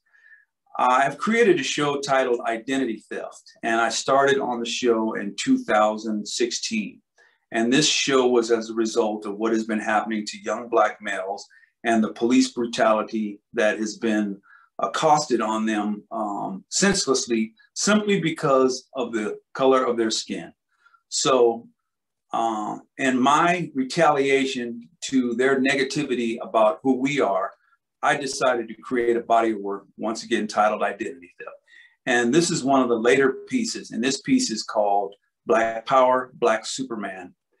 And it is of a Black male with um, these hands, what you see, the white hands. And these white hands are holding up this Black male because they understand the power of who we really are but they also try to deny us the power of who we truly truly are. So I decided to exaggerate the power of who we truly are.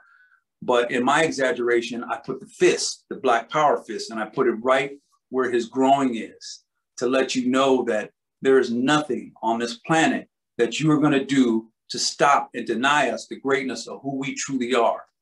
And so this is exactly what this piece is representing, how powerful the black male is, but also how intimidating we are and how much you have tried throughout history to deny us of our true greatness. And so when you look at the back of this uh, particular piece, you see, uh, when I say black power, black Superman, you see the imagery of the suffrage that we've had to uh, had from the hands of our oppressors. But still in all, we have still maintained our power.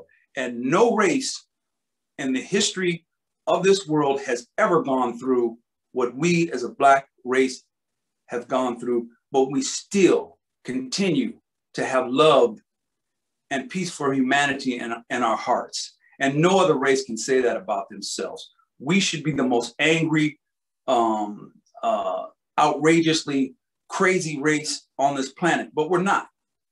I know in my heart, I know what's happened to us, but I know for me, I have love in my heart, even for my oppressors, because I will not let them win with their negativity because that just brings me down to their level. So in this next piece right here, um, it's titled My Big Black Beautiful Lips. So many women in this day now and age now are becoming ashamed of their black features, of their blackness, of their true beauty, of the color of their skin. You have these beautiful black women and women of color bleaching their skin, trying to deny themselves of who they are because the white woman is supposed to be seen as the most beautiful, precious prize on the face of the earth. And for me, that's just not true. For me, the blackness of my skin is the most beautiful blackness I've ever seen. The blackness of my wife's skin is the most beautiful blackness I've ever seen. And she wears it with pride and, and, and, and glory. And I'm so proud to have that influence that I have from the female um, be a part of this work. So for me, saying my big black beautiful lips, even though the piece is white, you can see it is of a black woman, but I'm exposing the beauty of this woman's black lips because for me, it, it, it accentuates the, the, the magnitude of what this piece represents and how beautiful it, it truly is. So what I'm saying to these young black women is stop letting society tell you that the color of your skin, the size of your lips, are, is something that's negative. That's the most beautiful feature you, you, you have. Wear it with pride. Understand your beauty. Stop uh, buying into all this negativity about who, you know, what this other, what uh, other people tell you the imagery of beauty is about because it's not. That's not what it's about. Your beauty comes within you. Your beauty comes with understanding who you are, accepting who you are, and, and go out there and flaunt it. Don't hide from it, understand it. And then when you see someone else that that may have a you know inferiority about who they are, go and talk to them and tell them, now, sister, you are beautiful. Love yourself, express yourself. Don't hide from it. Don't let society tell you what they think beauty is all about because they're wrong, completely wrong. Okay, this piece right here, uh, I have had um, a great many people write me letters. I just had one person writing me a letter about a woman's uh, health group um, who has done all these childbirth birthings and uh, and she wrote me a long, long letter about uh, how you know thank me, thanking me for celebrating the the the, the understanding of women holding up uh, children and, you know, on and on. She went on and on. And then at the end of the letter, she asked me to give her the piece. so I'm like, okay. So, anyways, in rebuttal to her asking me to give her the piece, uh, I have uh, an assistant who uh, wrote her back. I have a great assistant. And my assistant sent me what she wrote, and she says, Could you how do you want me to respond to this? And I said, well, you just go respond to it the way you, you think you need to. And so when she responded to it, she said, thank you for, you know, uh, your appreciation of the work. But in essence, this is not a woman holding a child. This is a male.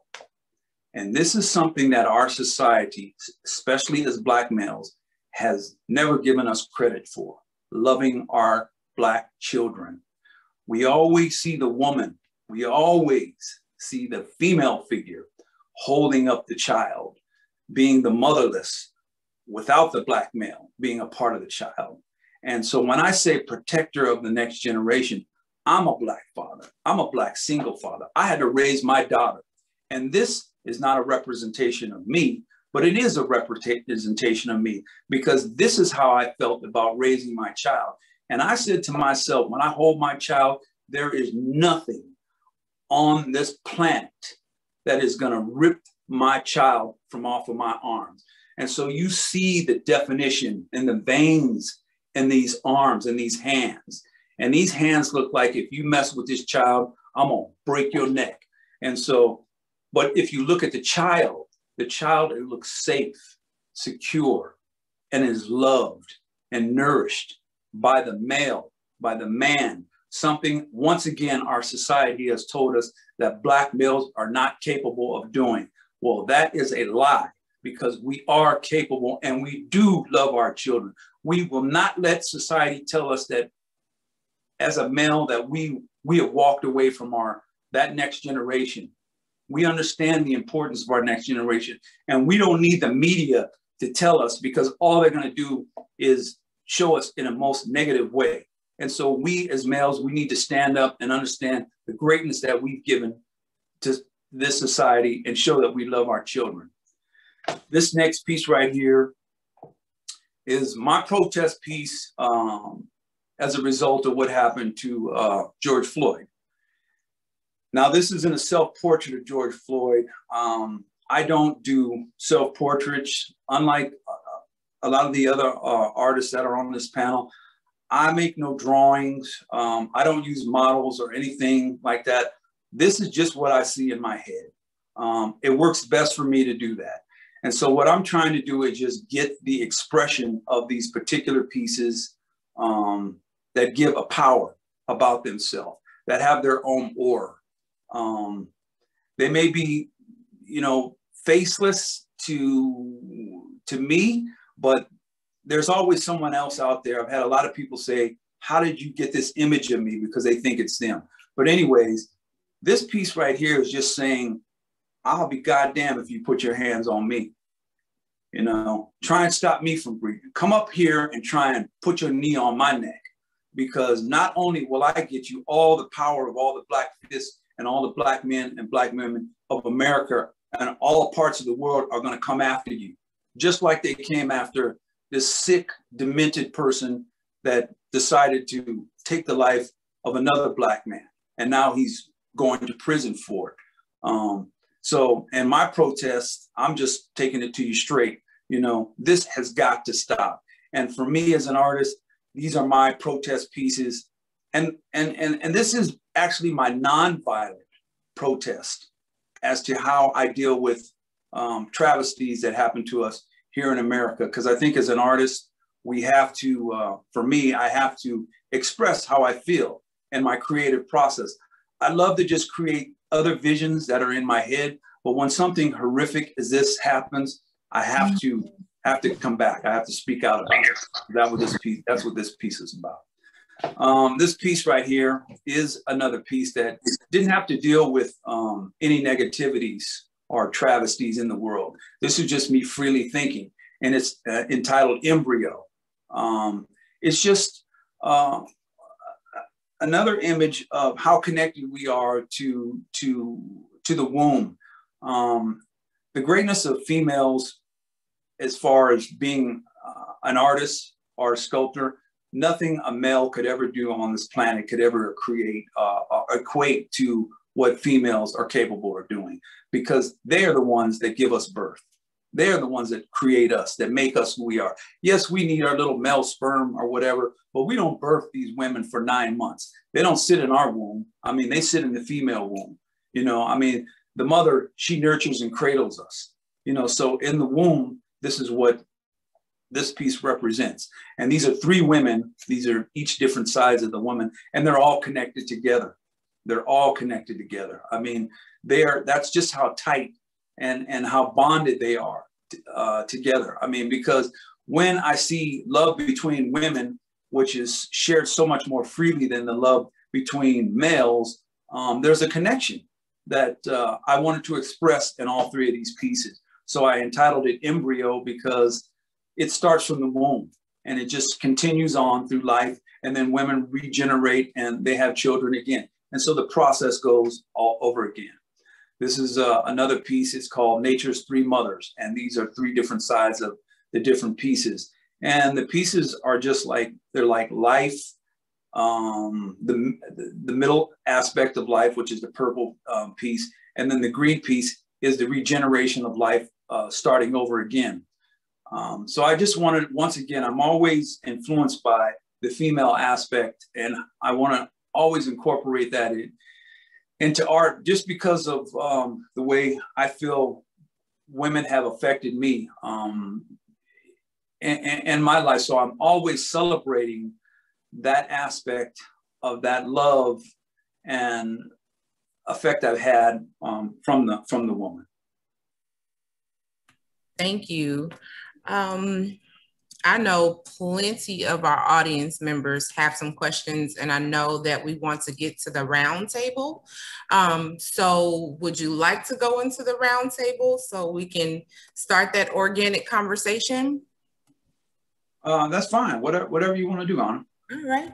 So, I am going to invite Mr. Watson, Mr. Dwight to unmute um, and I did send you some questions in the chat that um, our, our, our, audience members have for all the artists. Um, I can definitely resend them again if you need me to, or I can just pose them if you'd like to get it started. Uh, however you want to do it, Auna. I mean, you can just right. pose the questions and we'll just go from there. Well, I really love the question uh, from I believe it's Miss Sharunga, uh, she talked about uh, the very act of being an artist. Um, do you feel like there is resistance in you all choosing that profession? And Bryan and Edward, please make sure you unmute.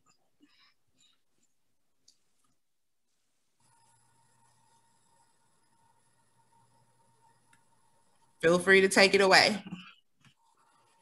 Well, I'll, I'll talk about resistance. Um, um, I think I've always had a rebellious aspect of who I am simply because um, I think it's because of the color of my skin. And I can't pinpoint it any other way. I mean, throughout my entire education as an artist, um, I've always felt like I've been I was intimidating people um, through school where I had I did have a great high school art instructor, and he's the one that accelerated me to move my art career even further. Um, and I give him credit. I mean, I actually named my kiln after Mr. Shannon. I mean, that's how much of an effect he had. I mean, and outside of my mother, I think he's the greatest art teacher I ever had. But I mean, going to school um, for me, I mean, when I started college, uh, I didn't go to school to study art. I mean, that was my major. I went to school as a, as a, as a track and field athlete. I mean, I got my first scholarship, a full scholarship um, um, from San Jose City College, being, um, you know, one of the fastest uh, hurdlers in the nation. And I got a full scholarship to San Jose State. Um, but when I was in school, I was like an anomaly because they didn't know what to do with me. And when I would show up to class, especially um, my art ceramic classes uh, or sculpture classes, my instructors would look at me like, "What are you doing here? You know, you're you're an athlete and you're one of the top athletes." And this was in the 80s, and you don't even really have to be here, you know, because we're going to give you an A anyways, because that's just the that's how you know I would say corrupt you know schools were back in those days. Um, but I went to school because I, I, had a, wanted a place to work, but they would kind of just leave me alone, you know. So I would I just continue to work on my own and, and, and continue to create on my own. But it bothered me even up till graduate school because, you know, when I say that I'm a self-taught art, artist, they say, well, how could you be a self-taught artist when you have a master's degree from Claremont Graduate University? Well, my art instructors would tell me that, you know, uh, we can't teach you anything. Well, then I tell them, okay, well, I didn't go to school for you to teach me anything. The reason I came to school is so I could learn to read and write and understand and be coherent enough to sit down and write books about uh, my art and, and uh, teach about what it is to be an artist. Um, and that's what I went to school for. It had nothing to do with them teaching me how to create what I create. It had to do with them teaching me how to read how to write about my work and understand it, and then give the work that information to other people. I, I want to talk about the power of mentors um, and the effect that we, the four of us sitting here, and artists today in, in, in the community have and the responsibility they have. growing up as a son of an artist, I really give thanks to my father, who was discouraged from doing art. Um, they thought that artists would live a poor life, they couldn't make a career. Um, my grandfather wanted him to become a, a lawyer. Um, he refused to help him through college. Uh, he went to England to study and the, the struggles as a black man in England in the 50s. Um, he was actually the first black person, black man to go to the Royal College um, of Art in London. I don't know, I cannot conceive of the strength and the conviction that he had to conceive of the idea of becoming an artist and to, to follow it through. Uh, but he always gave the, the, he was always determined to present himself as an educated person, as somebody having a, a credible career, um, and, being somebody worthy of respect. Um, you know, so he had great struggles to in in the 50s, 60s. He he um, emphasized certain things. He wore uh, suits to work to show that hey, as an artist, I am a professional uh, and worthy of it. Today, we probably don't need a suit. And today, I don't need a suit. I can wear shorts and flip flops. And, um, you know, because he wore suits back then. Um, and as an example, as a mentor, he gave me the, the, the vision to recognize that, uh, and the example that I can be an artist, I can succeed, this is how you succeed. This is how you, you have to view yourself as an artist. So it gave me the, the confidence and, and self-esteem to know that, hey, I can be an artist, I can do what I want to do, I can deal with self-expression. But I see a lot of my peers not having this, uh, this example in their life, uh, struggling with the decisions of how do I uh, turn this creative spirit into a career. And um, not everybody overcomes that battle and, and, many people, you know, fall prey to it and, and decide that they're going to try and do something else and then do art. And what happens is that they never get to it. Um, so I feel fortunate. I don't know what would have happened if you weren't an artist but I feel fortunate and um, try to make the best of the fact of the examples that uh, and the, the advice and, and, and the vision that he was able to pass on. And it, it gives me a sense of responsibility to encourage and try to inspire. You know, if it's only one, then that's, you know, um, work well done. But you, you know, the power of a mentor is, is important and you have to accept that responsibility as you, as we, you know, as we develop in our career.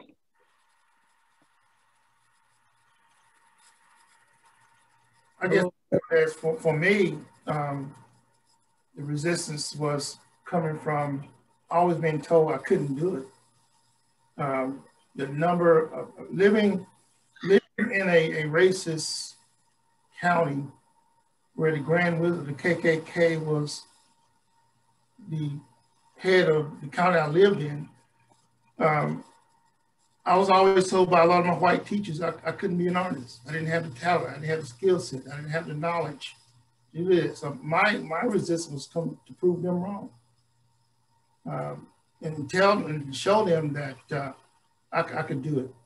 And when they counted me out, I, I wanted to show them I could do it. And, you know, for me, racism has, has been my biggest motivator to show people, uh, you know, that my art can make a difference in people's lives.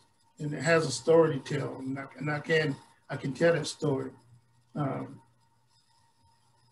it was difficult for me because I didn't, I didn't have that mentorship like, like some of my colleagues had. And, and, and I felt like I was out there on my own a lot of times.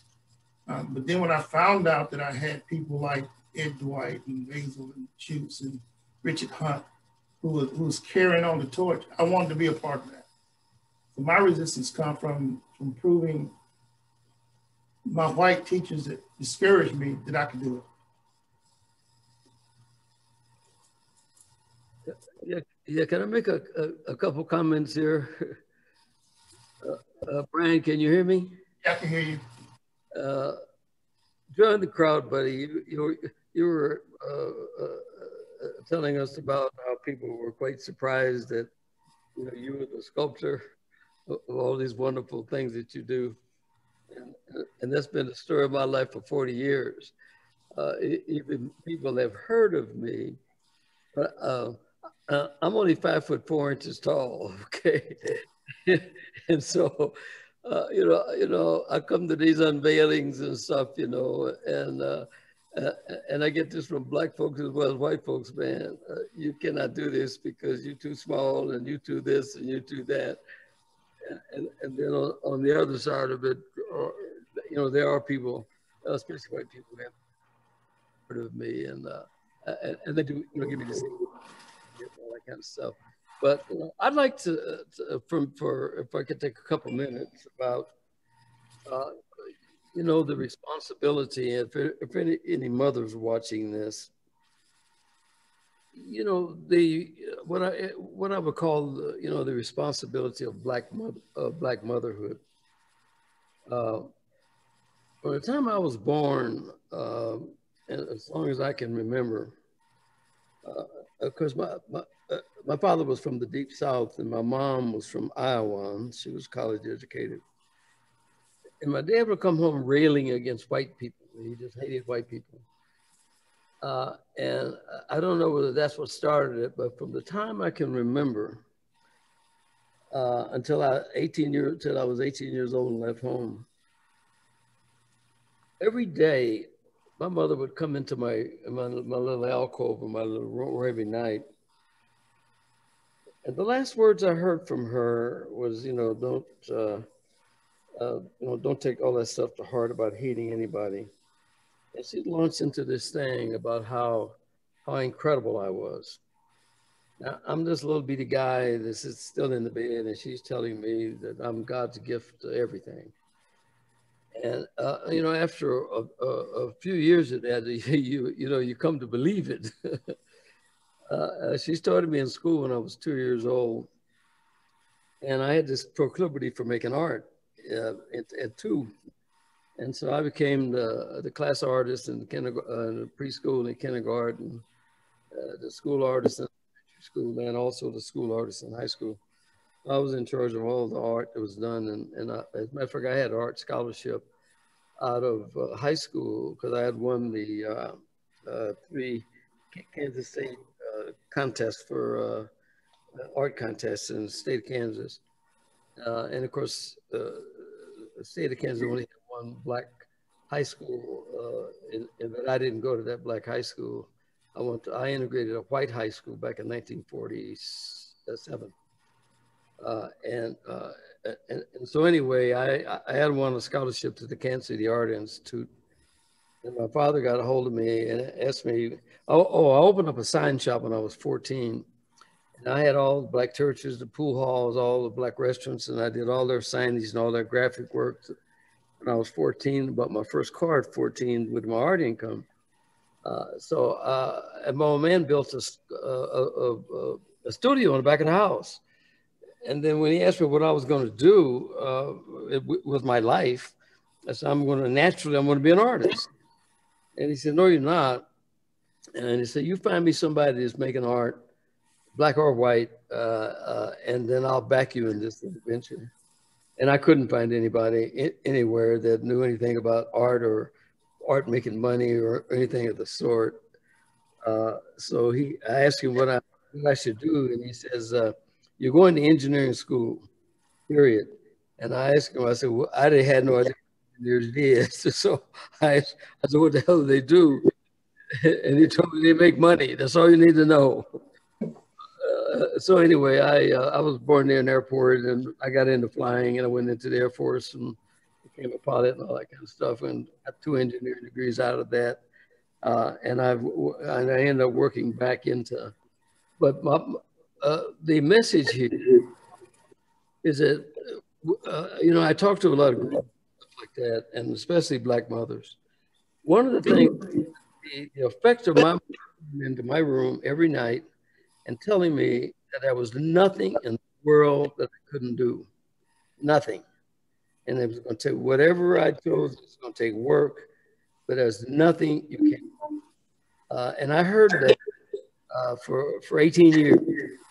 And when I walked out of that house, never to, uh, never to return, uh, I, I, walked out of there with this attitude that there was not one thing that anybody could present to me that I couldn't, uh, I couldn't figure out. Or, uh, so, so, that resulted in, in my being successful, and that's why the president of the United States chose me as his astronaut guy because I had all, all these. Wow. So, you know, getting into the art universe uh, was really going back home. But, but, it, but this begs to, to, all of us what we're talking about here is this confidence that we've got to bring to the table. And mothers are the key to this confidence. And we can go all get all the mentors in the universe. But if, if we could get the message to our young black mothers that they've got to tell those kids that they love them. That's where it's it starts with the with the mother telling because we we have kids that have grown up never heard that word I love you, uh, and and if you're loved, uh, then you can do anything because uh, once you accept that love that mom gives you, you're responsible to her, and like I mean, no consciously you are paying, you you are responding to her giving you the responsibility of accepting love. And so I, I, I talk about that a lot and I, and, we, we've got a job to do and fathers can get involved in this as well as telling their kids that they love them because all the things that are happening to our kids is because they're running around seeking love for where they can get it. And sometimes it's not so good. Uh, so, uh, but anyway, that's kind of my contribution to, to this whole process of, uh, I'm, I'm, I'll be 88 years old in a minute so I, there's a few things that I've kind of learned learned out of all this stuff that have done uh, by uh, by actuality rather than uh, uh you know all you know all the rest of. Well, I I think I think this, I think that, I think this, I think that is uh, is is what's really happened to me and to life, uh, and and that's what's wrong with this country right now, because you you have all these white people running around here uh, and they talk about love uh, and all that, all that jazz. And they had have no idea what the hell love means. Uh, and, and, they're so easily, their heads are so easily turned away from that uh, and justify that. And they, they have this idea that love means having somebody to hate. Uh, you know, uh, loving themselves means somebody, that they have to have somebody to hate in order to, to do that and and that's not the way love works. It, it works in a different. Uh, it, real love works in a different way. So we've got a job to do, guys, and uh, and the job is caring about each other in a big way. And so when opportunities come, we need to share those opportunities. Because I got to tell you something. When I came into this art world, the established art community sold me down the river.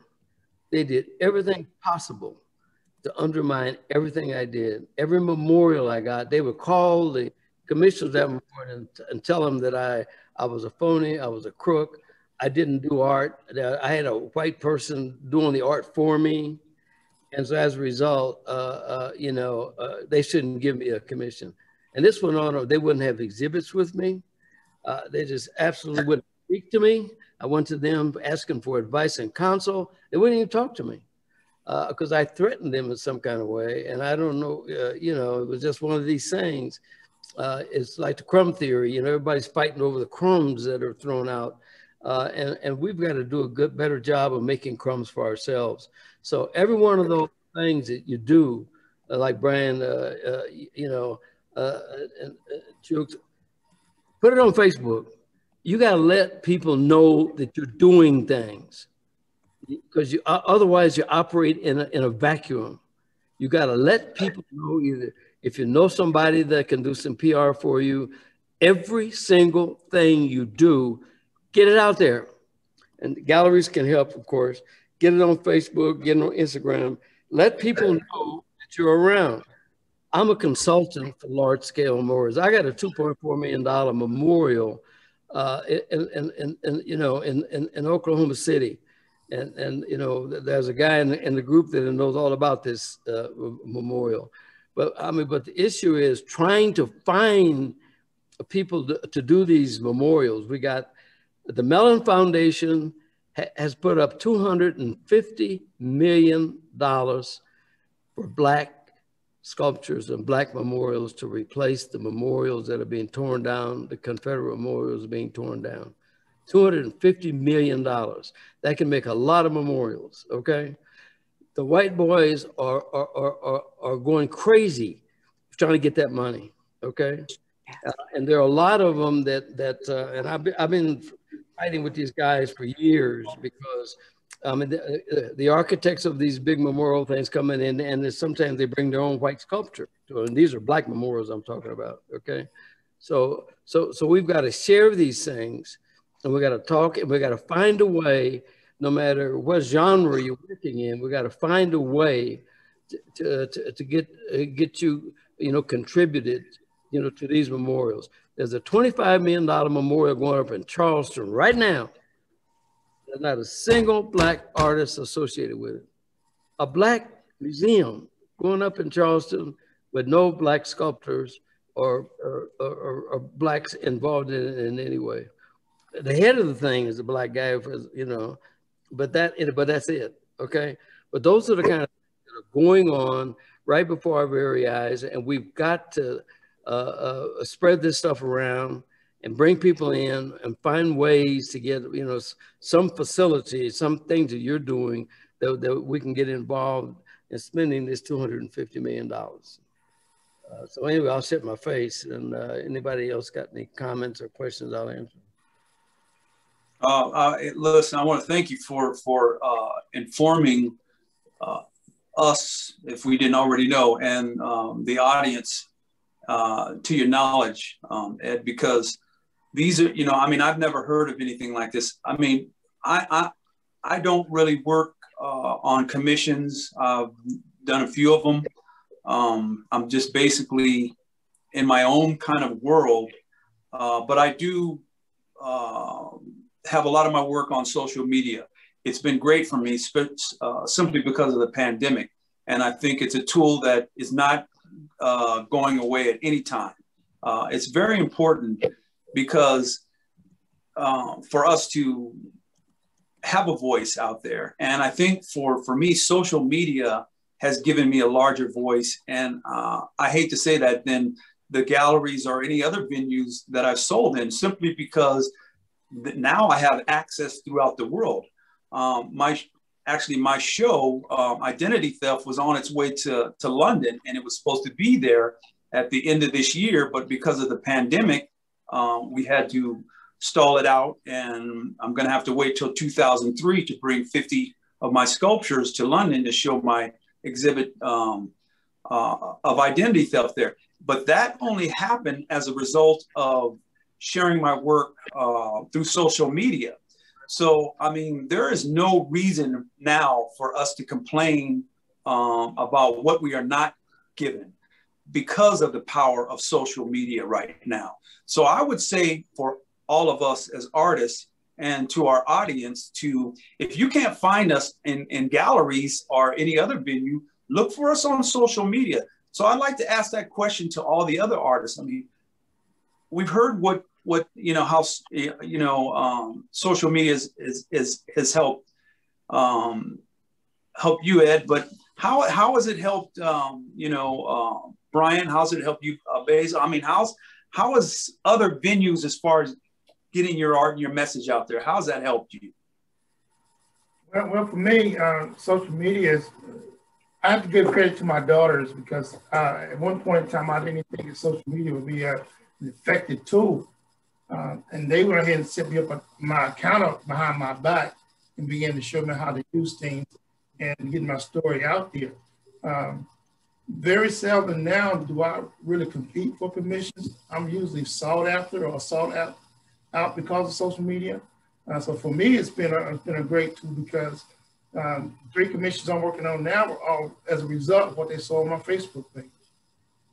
But I, I want to say that in, in Jamaica, it's an island, and um, living in an island, you're really in an island. Um, you might see a book in the bookstore, or you go to somebody's house and you might see a book. But getting information about artists, what's going on in the wider world, was non-existent when I was growing up as a young artist. You have the traditional art books that you get, but what's going on contemporary in the contemporary art world was non-existent. And that's one of the reasons why I wanted to come to the United States to connect more. Um, but recently, social media in the last 15, 20 years, social media has exploded a lot of that insular situation that were found. And I'm, I find I'm connecting with artists all over the world. Things that I was wondering if I was the only one doing. I'm now seeing people doing and appreciating from various different cultures, not just the culture that I'm growing up in or what is considered the status quo or the world culture. But you find people in France, Japan, Australia, Africa, all with a similar view and, and you find a community. Um, the social media has become one of my biggest teachers in terms of technique and learning um, and improving my art. And um, one of the questions I would love to, to ask you guys, growing up in the United States, um, did you see or experience or were you able to find many Black uh, mentors or icons or people that could inspire you to feel that you could do art? Um, that's a question I'd like to throw to you, to you guys. Well, let, let me jump in. Let me jump into that real quick. Um, for me, uh, I mean, outside of my the emotion I had earlier today about my mother, I, I apologize for that. It just happened, but that's how close, you know, that's how much it meant to me. But um, I did have some, whenever I did have someone that I could relate to, another Black person help me with my art, it, it was always, I, I was just, I gravitated to them. It's like you had to rip me away from that person um, because it was such a rarity uh, growing up in Northern California um, because I mean, I just didn't have that. I mean, it's like the, the avenues for all of the white artists, I mean, they were abundant, but for black artists, it was very rare. So when you met another black artist, I mean, you, you, I mean, we remain friends to this very day until, you know, unless they passed away or something like that. I mean, I've stayed in touch with all of them. They've had an incredible effect on me. But the, the effect it had on me was not so much the knowing that there were other Black artists out there, but what it it, it did for me was allow me to go out and search for other young artists that didn't have a type of mentorship. I wanted to have a voice that I would that I could go out and help other young black artists say, "Hey, you're very talented. So, you know, let's sit down and talk and let me show you some of the things that I've done as an artist to help you along your your journey." And that has been one of the most rewarding things that I've had uh, with with uh, with my skills as an artist. And I'll tell you a quick story. I had a young man um, from South Africa. Uh, uh, a friend of mine called me up and he says, "Hey, there's a young man who's visiting from South Africa. He's studying to be uh, an artist. He's um, and they've sent him out here to school, and he works in clay." He says, "Could you spend some time with him?" And I said, "Of course." And so the young man came over and he was in his very, he was in his 20s and he says, uh, um, I said, well, what do you want to do, Aaron? He says, well, I want to, I want to create a sculpture. And I said, well, okay. He says, well, I'm only going to be here for two days. I said, well, it's okay. He says, well, in my school, they won't allow me to create and get loosey, loose. Um, they said they let all the white students do what they want to do, but for the black students, it was structured. You'd have to listen to what they had to say. I said, don't worry about that, man. In two days, I'm going to show you something that you, you'll never get in your South African schools. So he says, well, what's, what takes you two days takes him, you know, maybe two weeks. And so for those two days, that young man came over my house first thing in the morning and we worked until 11 o'clock at night straight. And in those two days, he created the most incredible sculpture. I mean, I just seen the look on his face when I showed him my technique on as far as how to deal with clay. And to this day, this brother now has gone on from uh, and uh, from uh, undergrad to graduate school, and now he's a doctor. You know, and he's moved back to South Africa. And every time he does that, he shows me, calls me his older brother, Brother Chukes, and he sends me images of new work that he's doing. And so that's the power of mentorship. And I think it's something as all artists, we can't be selfish and keep all this to ourselves. We have to pass it down to the next generation. So I, I know that all of you brothers are doing the same thing, but that's just my motto as an artist because it's not me. This gift was not, it's not, it's a gift. A gift is something that is given to you and that you have to give back. Uh, otherwise, it's not a gift. And so when I'm gone, it has to go on to someone else. So that's that's just my responsibility as to what I'm I'm trying to do with my with my creative abilities. Oh, okay. Pass it on to the next generation. Yeah, uh, I have to say something here. You know, uh, we, have uh, we're, we're all together right now for one reason, and as Garbo and so we've we've talked all about the methodologies of getting from one uh, uh, stage of this thing to another, but we uh, brought it together, and there's a place for galleries in this thing. Uh, we do not have a good, sound, uh, effective network of galleries in the United States of America. Okay, and Garbo has been uh, uh, plowing the fields and been down there for all these years and, and doing her thing. And uh, she's one of the few that are still standing versus many, many others. The pandemic killed some, but there's not, there's just, there's no there there. And even in the big markets, even in the Chicago's and the LA's and the New York's, uh, you know, the damn few. Uh, uh, so I need to commend Garbo and and in all our things, the wonderful things we're saying about people helping people.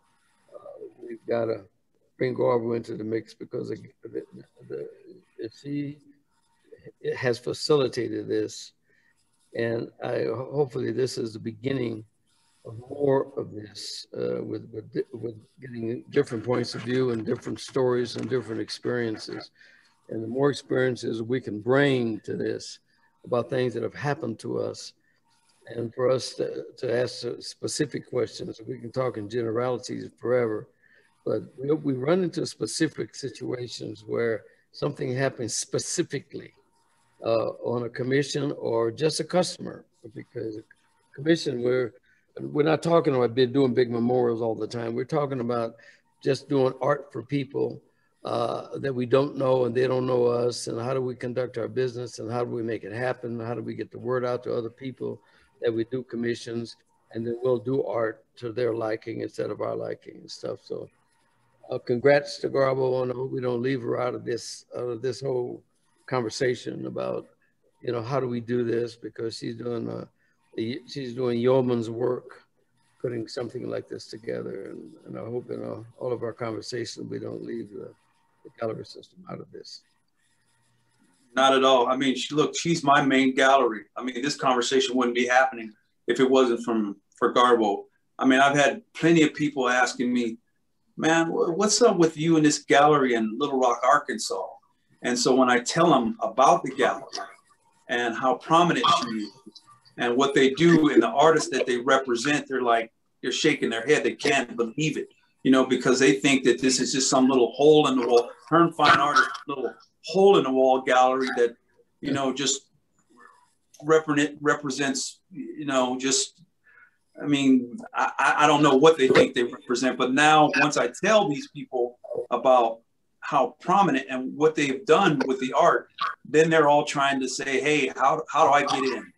How do I how do I you know can I can you put me in touch with uh, with uh, Garbo and I and I do I put them in touch, but it's like I tell them I said it's not up to me for her to accept your work, but I'll put you in touch with them. And, you know, you, you should have jumped on the bandwagon a long time ago. because I have people saying right now, it's like, you know, I am a gallery artist. Um, us knowing each other has not happened through social media, uh, through any festivals or anything like that. It's happened because of my uh, understanding of the importance of um, Black galleries. I mean, I'm saying Black galleries because white galleries, uh, I've shown with a few, but very few of them, they just they don't want to touch my work, you know? So we have to go and we have to support our Black galleries. It's mandatory that we support these galleries because not only are they just a gallery, what they are is, is history. Garbo doesn't just sell art. She sells history. You go in there and she's got books that you can't find anywhere inside of her gallery. I mean, so, and, and mhm. she's giving lectures, she's having art talks, she's having some of the greatest artists in the world come through her gallery. I met some incredible people just walking in the door of her gallery. I mean, that I don't meet and I never would meet anywhere else. So, yes, I, I think that's great for you to say that, Ed, that, you know, that we do have to give Garbo credit for being who she is and understanding the importance of uh, the gallery and how it is our tool of understanding who better understanding who we are as people because and through the arts because of what she provides. Okay, well, thanks, guys. I'm gonna have to sign off, guys, because I've got another little deal to get. But but anyway, thanks all of you, and it was good meeting you, the ones that I haven't met before. Uh, and Garbo, thanks. I love you, babe. Okay. Thank you, Ed. Right. Thank you, Ed. Thanks, Okay, Ed. Ed, good. Thank you, Ed. Goodbye. So time it is four thirty-five, and this was supposed to end at three thirty, but you know, greatness, you can't, you can't put a time clock on it. But I want to say that I appreciate all four of these dynamic artists who've come together. They've come from different perspectives, their history, their journeys, but it all leads back to Black excellence. And as a gallerist, all of you on the call, I, I challenge you to look in your home. If you don't have a piece of sculpture by these artists, it's time to pick up the phone and call me. And this is how you can reach me. But I do want to say that I don't do this alone. My partner is here, Archie. Can you put the screen back up? Because I do want him to say, at least say hello. Archie, can you unmute yourself? Do you see me? Do you, are you listening? Looks like he's looking away, not paying attention. But at any rate, my daughter is here, Auna, who has put this together. We appreciate um, all the things that she does, technology, social media. This is a family affair and we appreciate your presence this afternoon. This has been a dynamic moment in history because today's these artists, they know of each other, but they've not formally ever introduced or talked to each other. So this is what a gallery does. We make people network and collaborate, and we are looking for a positive future for all of these artists that we're gonna be here to support along with social media. We're all part of this whole picture of moving Black art to the future and excellence. So thank you so much. Auna, do you have anything to say? Thank you all for coming. We really appreciate your patience. All questions that were asked in the chat will be addressed. Um, we just know that this is a long time to be on Zoom, so we appreciate those who have stayed the entire time. Um, this recording will be made available. Um, we will be uh, emailing everyone that registered for the event, so we encourage you to share, share, share. Um, join our mailing list to uh, hear about more um, events in the future. And thank you. I think my dad finally unmuted. Would you like to say anything, Dr. Hearne? Can you hear me? I Archie, think- can you hear us? I I don't think he has this. But anyway, that is my partner. That is the person that actually is the impetus for Hearne Fine Art. As a collector in college, he always knew the, he knew the value and that is why the gallery was started. So, you know, this is a guy who has helped make everything. So thanks again. And you all have a great evening and we will answer your questions. So good night, good afternoon, and enjoy the rest of your day.